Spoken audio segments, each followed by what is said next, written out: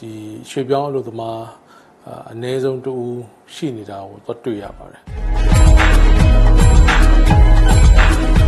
ရှိမယ်ကျွန်တော်ထင်ပါတယ်ကျွန်တော်ပထမဆုံးမေးချင်တာကတော့ပထမဆုံးဆရာရေဝင်ရတော့ပြောသွားတာပေါ့လေအကောင်းချင်းနဲ့ရှိတယ်ဆိုးချင်းနဲ့ရှိတယ်ဒီ migration မှာ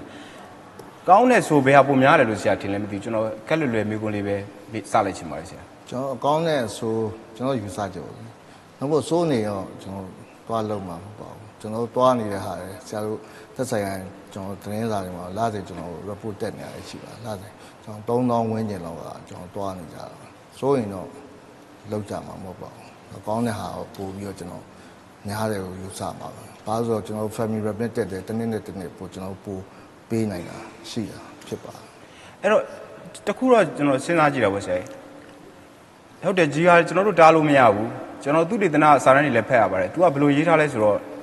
ကျွန်တော်တို့ကအခုငယ်ရွယ်တုန်းမှာနိုင်ငံခြားမှာသွားလုပ်တယ်ဒါပေမဲ့စောစောကဒေါက်တာဇော်ဦးလည်းပြောသွားတယ်ဒါပေမဲ့ရတဲ့ပတ်စံတွေကိုကျွန်တော်တို့ကတေချာ invest မလုပ်နိုင်ဘူး invest မလုပ်နိုင်တဲ့ခါကျတော့ရေရှည် plan မရှိဘူးဆရာအစိုးရကလည်းဘယ်လောက် plan ရှိလဲကျွန်တော်မသိဘူးဆရာခဏနေရှင်းပြနိုင်မှာပေါ့ကျွန်တော်တို့မိသားစုတွေမှာတေချာ plan မရှိတဲ့ခါကျတော့ဒုံရင်ဒုံရင်ဖြစ်တာပေါ့ဒါပေမဲ့လူတွေရဲ့အသက်ကကြီးကြီးသွားတယ်ကြီးသွားတော့နောက်ထပ်အနှစ်30မျိုးဆက်တစ်ဆက်လောက်ကြာလို့ရှိရင်ဒီလူတွေကအသက်လည်းကြီးပြီးတော့မှဒီတိုင်းပြည်လည်းပြန်ရောက်လာတယ်အဲ့တော့နောက်ပိုင်း မိသားစုတွေကတကယ်တမ်းကျတော့အရင်လိုမျိုးအများကြီးလည်းမမွေးကြတော့ဘူးလေလူကြီးအခုကတော့ကျွန်တော်တို့ကလူငယ်ဥယျာဉ်ပုံများတာပေါ့နောက်ပိုင်းအသက်ကြီးတဲ့လူတွေကပုံများပြီးတော့မှတိုင်းပြည်အတွက်တက်ကြီးရွယ်စောင့်ရှောက်ရေးလို့ခဏလိုကျမကြီးကုန်ကြစိတ်တွေပုံများသွားမလားပေါ့ကျွန်တော်တို့ကလောလောဆယ်တော့အဆင်ပြေနေတယ်လို့ထင်ရတယ်ပေါ့နော်ရေရှည် plan အတွက်စဉ်းစားဖို့မကောင်းဘူးလားဆိုတော့အကြံပြုချက်တွေရှိပါတယ်အဲ့ဒါတွေနဲ့ပတ်သက်လို့ဆရာတို့ဘယ်လိုစဉ်းစားပါလဲဆရာကျွန်တော်တို့ဒါခုနဆရာပြောလို့ပဲဒါကောင်းပါလေကျွန်တော်ဥပမာဆိုရင်ကျွန်တော် population growth ဆရာတို့ ဟိုဟာကြည့်ပါ population growth မော်နဲ့မကွေး population growth ကကို minus ပြတာဒါဒါ very ကျွန်တော် dangerous ပါဒါဆရာတို့ဘာလို့ပြည်နယ်မှာစဉ်းစား minus ပြရင်နောက်ဘယ်လောက်လာရင်ဆရာတို့ဒါ 1H မှာ level မှာကျသွားတော့မယ်နောက် OH ဘယ်လောက်များလာမလဲပြန်လာတဲ့လူကလည်း OH ဖြစ်တာဒီကြောင့်ကျွန်တော် plan နေဆွဲထားမှာပါနောက်သွားလုတ်တဲ့မိလုတ်သားတွေရဲ့မိသားစု ဟိုမှာ family remit တဲ့ဆွဲပို့လိုက်ရင်ဟာငါသားလေးတော့သွားလုံနေငါသမီးလေးတော့သွားလုံနေလုတ်တဲ့ဟာကိုအချိန်နိုင်ရင်လာစဉ်ပတ်စံမပို့ရင်ဖုန်းလေးဆက်ပြီးတော့ဒီမှာပတ်စံပို့ဒီမှာနှလုံးဒီမှာဟိုဟာဖြစ်တယ်သူတို့ investment ကအလူရန်ပေးလိုက်ဆိုအဲ့ဒီဟာကိုသူတို့ invest လုပ်ရမှာပါကျွန်တော်ကဥပမာသားနေကောင်းရင်သမီးနေကောင်းလားတိတ်ပြီးတော့သူတို့မှာအခုကျွန်တော်တို့တွေ့ရတာ ပတ်စံမပို့ရင်ချက်ချင်းဖုံးဆက်တယ်ဒီရောက်သွားရင်ကျွန်တော်ကဒီမှာတုံးဒါကိုကျွန်တော်က invest လုပ်အောင်ပါသူတို့လွှဲတဲ့ပတ်စံကို invest လုပ်မှာသူတို့ပြန်လာတဲ့အချိန်မှာဘာလုပ်မလဲဆိုတဲ့ဟာကို plan ဆွဲတာနှုတ်ပြန်လာရင်လည်းကျွန်တော်တို့ဆရာတို့တွေ့တယ်မယ်တမောသားတွေတမောသားတွေရွှေပြောင်းမယ်တမောသားတွေသွားလုပ်တယ်နော်ရေမီချားသွားလုပ်တယ်ပင်လယ်ကြီးမှာသွားလုပ်တယ်တမောသားမိသားစုတုံးတယ်စားတယ်ပြန်လာလို့6လပြည့်ရင် yes အင်္ဂမ်မရှိတော့မရှိတော့ ပြန်သွားဖို့ try တော့လဲနေတန်တယ်ဟုတ်ကဲ့လဲနေအဲ့ဒါအဲ့ဒါကို invest လုပ်ပြီးတော့ဒါဟောကိုမိသားစုအဲ့ဒါကိုကျွန်တော်တို့ကအဓိကတော့ကျွန်တော်ထင်တယ်အဲ့ဒီသဘောတရားတော့ဘယ်သူမှတော့ညင်းမယ်လို့ကျွန်တော်မထင်ဘူးအဲ့ဒီသဘောတရားတော့တော်တော်ကောင်းပါတယ်ဒါပေမဲ့မြန်မာပြည်မှာအဲ့လိုလုပ်ငန်းလေးစဖို့ရင်းနှီးမြှုပ်နှံဖို့ဆိုဘယ်လိုစက်တာလေးတွေကကောင်းမလဲပေါ့ဒါကျွန်တော်ထင်တယ်လူတိုင်းသိချင်ပါပြီကျွန်တော်ထင်တယ်အစိုးရအနေနဲ့ရောဘယ်လိုအပိုင်းလေးတွေကိုပို့ပြီးတော့မှအားပေးဖို့ဟိုစဉ်းစားထားတာရှိတယ်ပေါ့လေဆရာတို့ ဌာနဆိုရင်ရောအခုဆရာတို့ကကျွန်တော်ကလူသမားဌာနရောအဓိကကျွန်တော်က engage လုပ်ပေးတာဟာလှုပ်ရှင်တဲ့လူသမားနဲ့ရှာဖွေရအောင်ကျွန်တော်ချိတ်ဆက်ပေးတဲ့ဌာနအခု SME တွေပါတယ် SME ဌာနတို့ပါစက်မှုကဏ္ဍတို့ဆောင်ရွက်ပေးနေတာရှိပါတယ်ဆရာတို့အခုတွက်ကြည့်ပါ traditional ကျွန်တော်တို့ဟိုပါလေးတွေလက်လုပ် handmade လေးတွေတိုးတက်အောင်ဆောင်ရွက်ပေးနေဈေးကွက်ရှာပေးနေတယ်ကျွန်တော်တို့နိုင်ငံတော်ကြီးကဲတွေကအစနိုင်ငံခြားသွားရင်ဟိုမှာသွားပြီးတော့ economic forum တွေလုပ်ပေးတယ် ဟိုမှာကျွန်တော်ကျွန်တော်ကိုယ်တိုင်ပါကျွန်တော်ကိုယ်တိုင်ကျွန်တော်အလုပ်လုပ်ခဲ့တယ်ဟိုတော့เนาะကျွန်တော်တ िश ူးလိတ်လုပ်တယ်တ िश ူးလိတ်ကိုကျွန်တော်ယူတယ်ယူပြီးတော့ distribution ဖြန့်တယ်ဒါမှကျွန်တော်မှဈေးကွက်မရှိဘူးတလိမ့်မှာတပြားလောက်ကိုကျွန်တော်မြတ်ဖို့အတွက်လုပ်တဲ့ဟာဒါပေမဲ့တကက်ကျွန်တော်တိုင်းသားလုပ်ငန်းရှင်ကျွန်တော်ရှိတာကျွန်တော်လက်ရှိတဲ့ပတ်စံနည်းနည်းတကက်လုပ်ငန်းရှင်နဲ့တွေ့ရင်ဟိုက0.5လောက်ပဲအမြတ်ဆုံးယူပြီးလုပ်ရင်ကျွန်တော်ဈေးကွက်ပျောက်တော့ကျွန်တော်ရှုံးသွားပြီ အဲ့မို့ကျွန်တော်တို့ကကိုနိုင်တဲ့အပိုင်းလေးကိုကျွန်တော်တွန်းတိုက်ပြီးဘာလို့လဲ group လေးတွေဖွဲ့ဖွဲ့ပြီးတော့ဆောင်ရွက်မယ်အခုကျွန်တော်ဈေးကွက်လည်းရှာပါဈေးကွက်ရှာပြီးမှရောင်းရင်တော့ဖြစ်မယ်အဲ့ဒါကိုကျွန်တော်တို့ချက်ချင်းတော့မဖြစ်ပါဘူးချက်ချင်းဖြစ်ဖို့လည်းမလွယ်ဘူးချက်ချင်းဖြစ်ဖို့အတွက်ကျွန်တော်ဦးနိုင်ငံတော်ကလည်းဆောင်ရွက်နေဆရာတို့ဆရာမတို့အခုကျောင်းသားတွေပြီးသွားရင်ဒါကိုကျွန်တော်အားကိုးပါနောက်ပိုင်းလာရင်ဘယ်လိုဈေးကွက်ရှာကြမလဲဘယ်လိုစွန့်စားပြီးတော့လုပ်မလဲဆိုတဲ့ဟာကိုတော့နိုင်ငံတော်လည်းအားပေးနေတာရှိပါတယ် ဒါကိုတော့ကျွန်တော်ဆောင်ရွက်သွားဖို့ရှိပါတယ်ဒါတော့ဈေးကွက်ရှိမယ်ကျွန်တော်တို့ဒီရောင်းနိုင်တဲ့ဟာနဲ့ဈေးကွက်နဲ့ profit ကြီးအများကြီးယူလို့မရပါဘူး profit ကကျွန်တော်တို့နိုင်ငံသားမှာလို့ပေါ့ကျွန်တော်ဟိုတော့ကခက်ကြီးမတူတော့ပါဘူးကျွန်တော်ကတစ်ကြက်ရင်းတစ်ကြက်မြတ်ဖို့မရှိပါဘူးတရားရင်းတစ်ထောင်မြတ်ဖို့မရှိပါဘူးတရားရင်းတစ်ကြက်လောက်မြတ်မလားဘယ်လောက်မြတ်မလဲအဲ့ဒီပုံမူတည်ပြီးတော့သွားမှာဖြစ်မှာကျွန်တော်ထင်တယ်ဒီမှာတော့စောစောကတော့ကိုကိုစောဦးကတော့ဒီ local government ပေါ့လေဒီထဲမှာတော့ကျွန်တော် ကျွန်တော်တို့ဒီပြည်နယ်အစိုးရကတောင်းရှိတယ်မပါတော့ပြောရခက်ပါတိုးတော်လည်းပဲဒီမှာနိုင်ငံရေးသမားတချို့ပါတော့ဒီမှာ idea တွေရှိကောင်းရှိနိုင်ပါတယ်လောလောဆယ်တော့ကျွန်တော်ចောင်းသားတွေကိုအလှည့်ပေးလိုက်ချင်ပါတယ်ចောင်းသားတွေမှာကျွန်တော်တင်တယ်ဒီထဲမှာမိသားစုတွေထဲမှာနိုင်ငံသားသွားတဲ့အတွေ့အကြုံတွေရှိမယ်ပြီးတော့မှအာဆွေမျိုးသားချင်းဒါမှမဟုတ်ကိုရက်ထဲရွာတဲ့လူတွေရှိနိုင်ပါတယ်ကျွန်တော် migration နဲ့ပတ်သက်ပြီးတော့မှလည်းနည်းလေးချဲ့လိုက်လို့ရှိရင်အများကြီးရှိပါတယ်ဥပမာမိသားစုတွေကသွားလိုက်တဲ့ခါကျတော့အမိဘတွေကနိုင်ငံခြားမှာနေတယ် ကလေးတွေကိုအဖိုးဖွားနဲ့ထားတယ်ဒီကလေးတွေကနောက်ဆုံးကျတော့ဖိုးဖွားတွေကအလိုလိုက်ရင်းနဲ့မှဂိမ်းအများကြီးဆိုတာတို့ခဏလိုမူရစီအထိသွားတဲ့ဖြစ်မူရစီတုံးတဲ့အထိဖြစ်သွားတဲ့ဟာမျိုးတွေလည်းကျွန်တော်တို့အတိုင်းဝိုင်းမှာအများကြီးရှိပါတယ်အဲ့တော့မူရစီနဲ့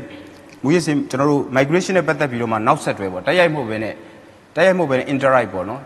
ဖြစ်တဲ့ကိစ္စတွေနဲ့လည်းကျွန်တော်တို့အများကြီးဆွေးနွေးလို့ရပါတယ်အဲ့ဒါနဲ့ပတ်သက်ပြီးတော့အကြောင်းသားတွေမှာတော့ဘယ်လို idea တွေရှိလဲဘယ်လိုအတွေ့အကြုံတွေရှိလဲဆိုတာလည်းကျွန်တော်သိချင်ပါတယ်အကြောင်းသားတွေဆွေးနွေးချင်လို့ရှိရင်ကျွန်တော်လက်တစ်ချက်တော့ထောင်ပြပါလား ဘယ်သူတွေဆွေးနွေးဖို့ရှိပါလဲဆွေးနွေးဖို့ရှိလားအကြောင်းသားတွေโอเคကျောင်းသားတွေဆွေးနွေးဖို့မရှိရင်တော့ကျွန်တော်ထင်တယ်နိုင်ငံရေးသမားတွေကိုကျွန်တော်အလှည့်ပေးရမယ်ထင်ပါတယ်နိုင်ငံရေးသမားတွေရှိလားကျောင်းသားတွေရှိလား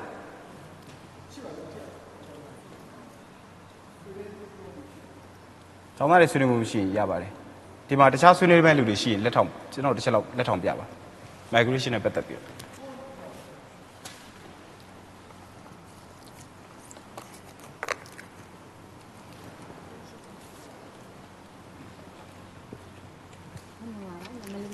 လေးမိတ်ဆက်ပေးပါမင်္ဂလာပါညီမနာမည်မိမိတန်းစင်လို့ခေါ်ပါတယ်ညီမကမွန်ပြည်နယ်မော်လမြိုင်စာတီဖြစ်ပါတယ်မွန်အဲပြည်ပနိုင်ငံတွေမှာတွားရောက်အလုပ်လုပ်ကြရတဲ့အကြောင်းရင်းပေါ့နော်ညီမလေးလာမိတလောက်ဆိုလို့ရှိရင်၄ချောင်းကြောက်ဖြစ်ကြပါတယ်ဟိုမြန်မာနိုင်ငံမှာအဓိကအချက်ကမျှတတဲ့အလုပ်ကင်ကိုမပေးနိုင်တာရယ်လောက်ခလာစာနေပါတာရယ်နောက်ပြီးတော့စီးပွားရေးနဲ့ပတ်သက်တဲ့ အာပညာတွေပေါ့နော်အစကတည်းကပေါ့အခြေခံကျောင်းတွေမှာကလေးကူကပဲဖြစ်ဖြစ်တက္ကသိုလ်ကျောင်းတွေမှာပဲဖြစ်ဖြစ်တွဲပြီးတော့မတင်ပေးလိုက်နိုင်တဲ့အတွက်ကြောင့်လည်းပါတယ်အဲနောက်ပြီးတော့ခင်မီတိုးတက်တဲ့သိပ္ပံနဲ့နည်းပညာတွေမရှိဘူးဖြစ်နေတယ်ဒါကြောင့်မလို့မွန်ပြည်နယ်ရဲ့21ရာခိုင်နှုန်းသောလူဦးရေကပြည်ပကိုထွက်ခွာပြီးတော့လှုပ်လှုပ်နေရတယ်ဒီအချိန်မှာလူသားရင်းမြစ်ကိုဖွံ့ဖြိုးတိုးတက်အောင်အာပြုလုပ်ပေးဖို့အတွက်လိုအပ်တဲ့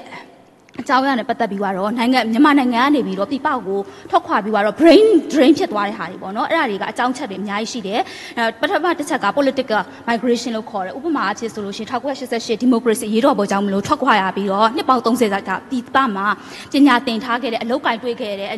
အတွေ့အကြုံရှိခဲ့တဲ့သူတို့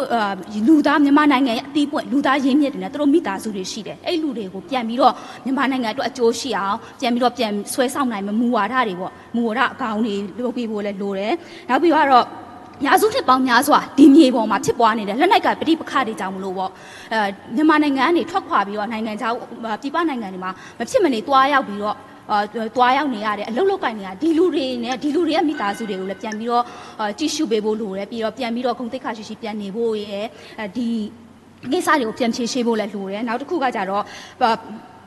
တ်ဝန်းကျင်ပျက်စီးမှုကြောင့်ဖြစ်ပေါ်သွားတဲ့အာရွှေ့ပြောင်းလုပ်သားတွေပေါ့နော် ဒါဖြစ်လို့လဲဆိုတော့ environmental migration လို့ခေါ်တယ်။သူကဥပမာအဖြစ်ဆိုလို့ရှိရင်တရားမဝင်တစ်ခုတ်တယ်တောင်ဖြိုးတယ်တက်တူတူတယ်အဲပြီးတော့တစ်တော်ပြုံးတယ်တဘာဝပတ်ဝန်းကျင်တွေပျက်စီးတယ်ရေကြီးတယ်မြေပြိုတယ်ရေရှားတယ်ပြီးတော့လေရမြေတွေမြေစည်းထွားတွေခံချောက်ကုန်တယ်အစရှိတဲ့ဖြစ်ပေါ့ဒီလိုမျိုးပတ်ဝန်းကျင်တွေပျက်စီးမှုကြောင့်မလို့ ဟိုလူတွေကမဖြစ်မနေပြောင်းရွှေ့ပြီးတော့သူများတခြားဒေသတွေကိုတွားပြီးတော့အလုပ်လုပ်ကိုင်ဖြစ်လာတကယ်တော့ရွှေ့ပြောင်းအလုပ်လုပ်ရတယ်ဆိုတာကကဘာဥစကလေးရှိခဲ့တာ passport တွေနိုင်ငံတွေမှတ်ပုတ်တွေမရှိခဲ့တဲ့လူတွေကရေးကြည့်ရညညနုရာကိုတွားပြီးတော့ရွှေ့ပြောင်းလုပ်ကြတယ်ဖြစ်တယ်အဲ့တော့ကနောက်ဘက်ဆုံးနှစ်ချုပ်အဖြစ်ဆိုလို့ရှိရင်တော့လူတွေကဒီ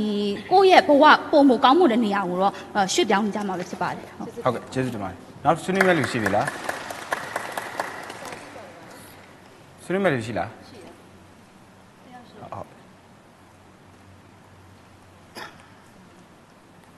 ကျွန်တော်ကနိုင်ငံဟိုကင်မရာလေးကြည့်ပြီးဟုတ်ပါကဲ့နာဟုတ်မည်ကဲ့လေးမိတ်ဆက်ပြီးတော့အဲဥကျကျော်ပါဟုနော်တ်ကဲ့ဟုတ်ကဲ့အမှတ်ဟိုပြောပြောချင်တာကကျွန်တော်လုပ်ငန်းစဉ်တယောက်ပါနှစ်40ကျော်ပါပြီကျွန်တော်လုပ်ငန်းကိုလုပ်ခဲ့ပါတယ်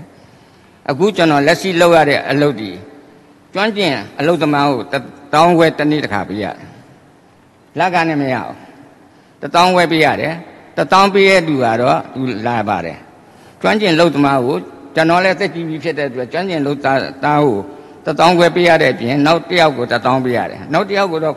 9000 7000ပေးရတယ်9000 7000ပေးရတဲ့လူကနောက်နေ့မလာပြအောင်ဟောသူဆိုင်တဲ့တက်ဆီတမောင်းတဲ့ခါကျရင်2000လောက်ရတယ်ကျွန်တော်အဖြစ်ကဖြစ်နေတာကျွန်တော်မှအလုပ်သမား9ယောက်ရှိတဲ့တင်မှာ3ယောက်လို့2ယောက်တို့ပဲကျွန်တော်မှအခုလောဆယ်မြင်နေပါတယ်အဲနောက်တစ်ခုကျွန်တော်ပြောချင်တာကျွ န်တော်တို့65မှာတုန်းကတော်လိုင်းကောင်စီလက်ထက်မှာစင်ကြေဗနတ်တရံကိုဗမာငွေကခုနှစ်ကြဘက်က30ဖြစ်လာတဲ့အချိန်ကနေစပြီးတော့ဟာ74လောက်လေရောက်ရောဗတ်တက်ကြက်တက်ဖြစ်သွားတယ်ဗတ်တက်ကြက်တက်ကနေပြီးတော့အခုကျွန်တော်ဟိုမဲဆောက်ရောက်တယ်မဲဆောက်ကတဆင်းကျွန်တော်ဘန်ကောက်သွားတယ် မကြသေးဘူးစစ်လာတော့ပဲအဲ့လိုသွားတဲ့ခါကျတော့ဘယ်လိုဖြစ်လာလဲဆိုတော့ကျွန်တော်သွားတဲ့စီမှာငွေတသိန်းပမာငွေပြီးရင်2100ပဲရပါတယ်အခု1900နဲ့1850ပဲရတော့တယ်ဗမာငွေတသိန်းပြီးရင်အဲ့တော့ကျွန်တော်တို့ဘယ်လိုလုပ်ကြမလဲတခြားနိုင်ငံမှာကျွန်တော်အခုလက်ရှိလုပ်နေရတယ်ကျွန်တော်မှအမျက်သိမရဘူးကျွန်တော်အဆုံးပေါ်တဲ့ရက်တွေလည်းရှိတယ်ဒါပေမဲ့ကျွန်တော်အမြင်ကနောက်တစ်ခုကျွန်တော်ပြောမယ်တရားဒါထားလိုက်တော့ အခုလက်ရှိပေးနေရလက်ရှိက1800နဲ့90နဲ့1900ဖြစ်နေတယ်ကျွန်တော်တသိန်းပေးတဲ့ချိန်မှာဘတ်ဘတ်ဘတ်အခုလက်ရှိဘတ်အဲ့တော့ကျွန်တော်တို့အလုပ်ကနိုင်ငံခြားလာတယ်ကဲကျွမ်းကျင်လာတယ်နိုင်ငံခြားသွားပြီးတော့ကျွန်တော်အရွယ်တွေပထမ64ခုပြည်သူပိုင်သိန်းလုံးကျွန်တော်အရွယ်သွားကြတယ်နိုင်ငံခြားကိုသွားတဲ့အချိန်မှာကျွန်တော်တို့ပြန်လာတော့ကျွန်တော်တို့အသက်ကြီးပြီးမိဘကိုပေးတယ်အဖိုးပေးတယ်မိမကိုပေးတယ်ပေးတဲ့ခါကျတော့ ပတ်စံမရှိဘူးဟာသားသမီးထပ်သွားတယ်ဟာသားသမီးထပ်သွားတဲ့ခါကျတော့ဘလို့ဖြစ်လာပြန်လဲဆိုတော့မိဘကိုပေးတယ်မေယာကိုပေးတယ်ကလေးတွေပေးတယ်သူတို့မှသူကျွမ်းကျင်တဲ့အလုပ်သမားတွေဖြစ်လာတယ်ဒီရောက်တဲ့ခါကျတော့ SME ဆိုတော့ပေါ်လာတယ် SME ဆိုတော့ပေါ်လာတဲ့ခါကျ SME သူဝင်ကြတော့ဝင်ကြတဲ့ခါကျ SME ရတယ်ဘာလို့ဆိုအသေးစားလက်ငယ်စားအလတ်စားဆိုပြီးတော့သူထားလာတယ် ဘာနဲ့လှုပ်ထားတယ်ကျွန်တော်တို့မောင်မေမောင်ကမှာအဲ့ဒါဘာဘာလို့ပြန်လဲဆိုတော့ဟိုဂရန်ပေးမရမယ်ဟိုထောက်တာပေးမရမယ်ဆိုတော့သူတို့မပေးနိုင်ဘူးသူတို့ပြန်နေတဲ့လူတွေကဘာတွေဖြစ်နေလဲဆိုတော့ဟိုစုပေါင်းအရာမှနေတယ်ငှားနေတယ်နောက်တစ်ခုကချူးကြော်မှနေတယ် အဲ့တော့လက်ကသူတို့မှလို့ပတ်စံမရှိတော့ခါကြတော့ဟောပြန်သွားကြပြန်ဟုတ်ကဲ့ကျေးဇူးတင်ကျွန်ပါတယ်တော်တို့မှဟုတ်ကဲ့ကျွန်တော်တို့မှအဲ့လိုဖြစ်ဖြစ်နေတဲ့အတွက်ကျွန်တော်စီမှာတိုးတက်မှုနည်းပါတယ်နောက် SME ကိစ္စမှာလည်းအဲ့လိုဖြစ်နေတော့ SME ကိုလည်းကျွန်တော်9နှစ်စီမံကိန်းနဲ့လုပ်စီကျင်တယ်ဟုတ်ဗျာဟုတ်ကဲ့ဟုတ်ကဲ့ကျေးဇူးတင်ပါတယ်ဆရာအကြံတစ်ခုပေးသွားတာပေါ့လေအဲ့တော့နမူနာကောင်းပါတယ်နမူနာကောင်းတယ်ဆိုတာကျွန်တော်တို့ဟိုဘက်မျိုးဆက်ကနေဒီဘက်မျိုးဆက်အထိ ကျွန်တော်တို့လဲနေတာပေါ့လေဒါကျွန်တော်တို့စီးရဲမှုတန်တရားလဲနေတဲ့ဟာကိုပြောပြသွားတာပေါ့ကျွန်တော်တို့ဒါကိုပဲကျွန်တော်တို့အဓိကပြောနေတာဖြစ်ပါတယ်နောက်တစ်ခုကကျတော့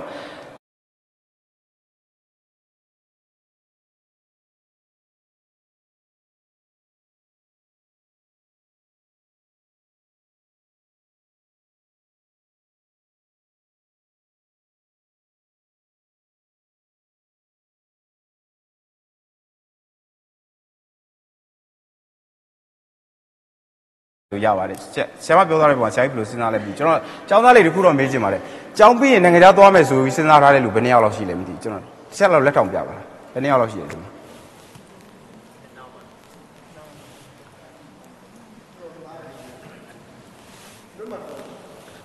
ဘာဖြစ်လို့နိုင်ငံခြားသွားကျင်လဲဆိုတဲ့ဟာလေးကိုယ့်အကူလေးနည်းနည်းစဉ်းပြောပြောပြရင်ကောင်းမယ်ကျွန်တော်ထင်တာတော့လေနိုင်ငံခြားသွားမယ်ဆိုဆုံးဖြတ်ထားရဲဆိုရင်ကို့မှာသွားကျင်တဲ့အကြောင်းတော့ရှိရမှာပဲကျွန်တော်ထင်တယ်တယောက်လေးလေးလောက်ထားပြီးတော့မှလာပြီးတော့မှ လာပြောပြပါလားဘာဖြစ်လို့တန်ကြတာသွားကျင်တာလဲဒီမှာဘာလို့မနေကျင်တာလဲဆိုတဲ့ဟာပေါ့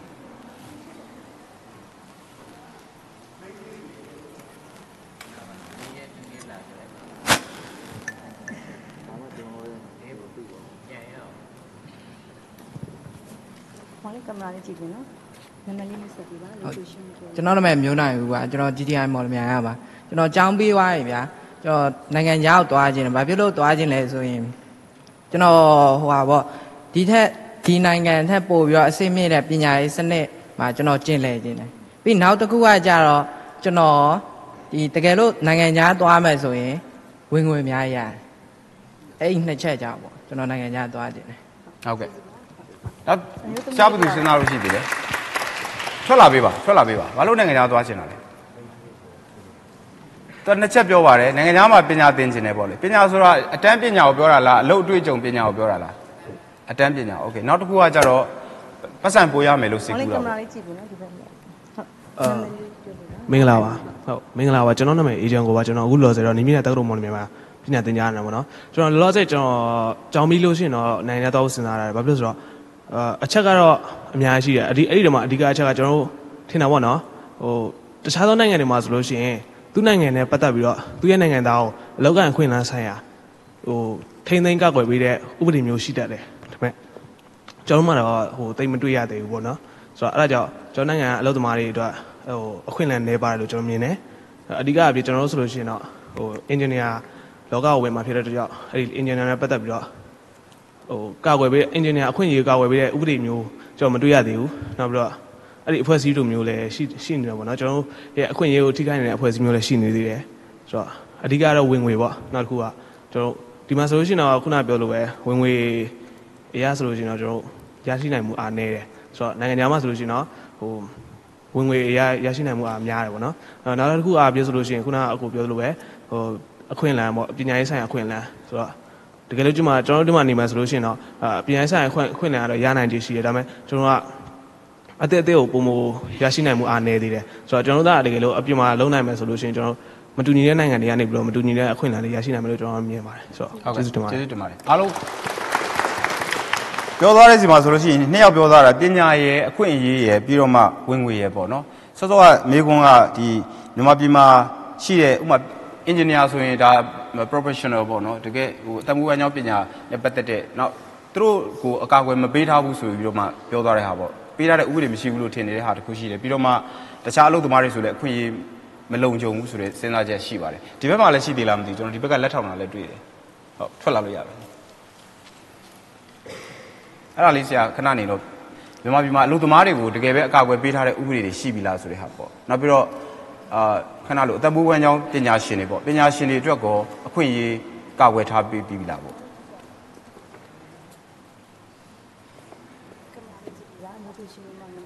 အော်ကျွန်တော်ကတော့မောင်မုံပြီလာပါဗျကျွန်တော်နိုင်ငံခြားအဓိကသွားကြတာကျွန်တော်တို့ဝင်ငွေကိစ္စပေါ့နော်မြန်မာနိုင်ငံမှာနေတယ်ကျွန်တော်တို့မိဘပတ်စံသုံးနိုင်တယ်ဒါပေမဲ့ဟိုဟာငွေမြန်မာနိုင်ငံရဲ့ငွေကြီးအဆင့်တန်းကတခြားနိုင်ငံနဲ့ရှင်အများကြီးနေတယ်လို့ကျွန်တော်ထင်တယ်အဲ့တော့ကျွန်တော်တို့နိုင်ငံခြားထွက်ပြီးတော့လှုပ်လှုပ်တယ်ကျွန်တော်တို့ငွေကြီးအမြင့်အဆင့်တန်းအများကြီးမြင့်ပါတယ်အော်ကျွန်တော်တို့ကဟိုပြောရမယ်သုံးဖို့အတွက်ကျွန်တော်တို့မြန်မာနိုင်ငံပြန်လာရင်စုမိဆောင်မီပို့သုံးနိုင်လိမ့်မယ်ကျွန်တော်ထင်တယ် အော်ကျွန်တော်တို့မြန်မာနိုင်ငံရဲ့ငွေကြေးအဆင့်တန်းကိုကျွန်တော်မြန်မာအောင်လုပ်ပြီးနိုင်မဲ့နီလန်းတွေရှိရင်လည်းကျွန်တော်တို့ကပို့ဆင်းပြီးမယ်လို့ကျွန်တော်တို့ထင်တယ်ဟုတ်ကဲ့ဟုတ်ကဲ့ဟုတ်ကဲ့ဟုတ်ကဲ့ဒါကတော့ငွေကြေးစနစ်ကိုပြောတာဟုတ်ကဲ့ကျွန်တော်တို့ပြောင်းပြန်ပြန်စဉ်းစားကြည့်အောင်ဒါကျွန်တော်တို့နိုင်ငံခြားသွားမဲ့လူကဒီဒီဒီအုပ်စုထဲမှာနဲတယ်လို့ကျွန်တော်ထင်တယ်မြန်မာပြည်မှာပဲနေဖို့ စဉ်းစားတဲ့လူတွေကပိုများတာပေါ့မြန်မာပြည်မှာနေနေဖို့အတွက်ကိုယ်ကဘာအာဂမအာမခံချက်ရှိရဲဆိုရယ်မိကွန်းကျွန်တော်မှပေါ်လာပါတယ်ဘာဖြစ်လို့သူများတွေနိုင်ငံခြားသွားဖို့စဉ်းစားခြင်းမှာကိုကဗမာပြည်မှာပဲနေချင်တာလဲပေါ့ကိုမိဘပဲချမ်းသာနေလို့လားဒါမှမဟုတ်ကိုကကိုလုတ်တရားအာမခံချက်ရှိပြီလားပေါ့ဘယ်သူဘယ်သူပြောချင်လဲမသိဘူးဘာဖြစ်လို့ဒီမှာနေချင်တာလဲဆိုတဲ့ဟာပေါ့ဗမာပြည်မှာပဲကိုယ့်အတွက်လုံခြုံတယ်လို့ပြောချင်တဲ့လူဘယ်သူရှိလဲမသိဘူးတယောက်နှစ်ယောက်လောက်သူရဲကောင်းတယောက်နှစ်ယောက်လောက်ထားပါ ဗမာပြည်မှာပဲဘာလို့နေချင်တာလဲကိုကိုယ့်အတွက်ဘာအာနာခဲ့ရှိတယ်ဘာအိမ်မက်တွေရှိတယ်ဘယ်သူပြောချင်လဲ ပြောလိုက် ဘယ်သူပြောချင်လဲဒီမှာအလောက်ကင်ခွင့်လန်းတွေရှိပြီလားအလောက်ကင်ပြီးကြောင်းပြီးအလုပ်ရမယ်လို့စဉ်းစားထားတဲ့လူဘယ်နှယောက်ရှိတယ်ကျွန်တော်တစ်ချက်လောက်ပြလက်ထောင်ပြပါလားတေချာပြီကိုကြောင်းပြီးအလုပ်ရမယ်လို့တေချာနေတဲ့လူတွေโอเคအဲ့ဒါဆိုတေချာပေါ့နိုင်ငံခြားမသွားတော့ဘူးဟုတ်နည်းနည်းပြောပြပါဦးဘာဖြစ်လို့ကိုကဒီမှာနေဖို့စဉ်းစားထားပြီးပြီလဲ ဆုံးဖြတ်ထားပြီးပြီလေ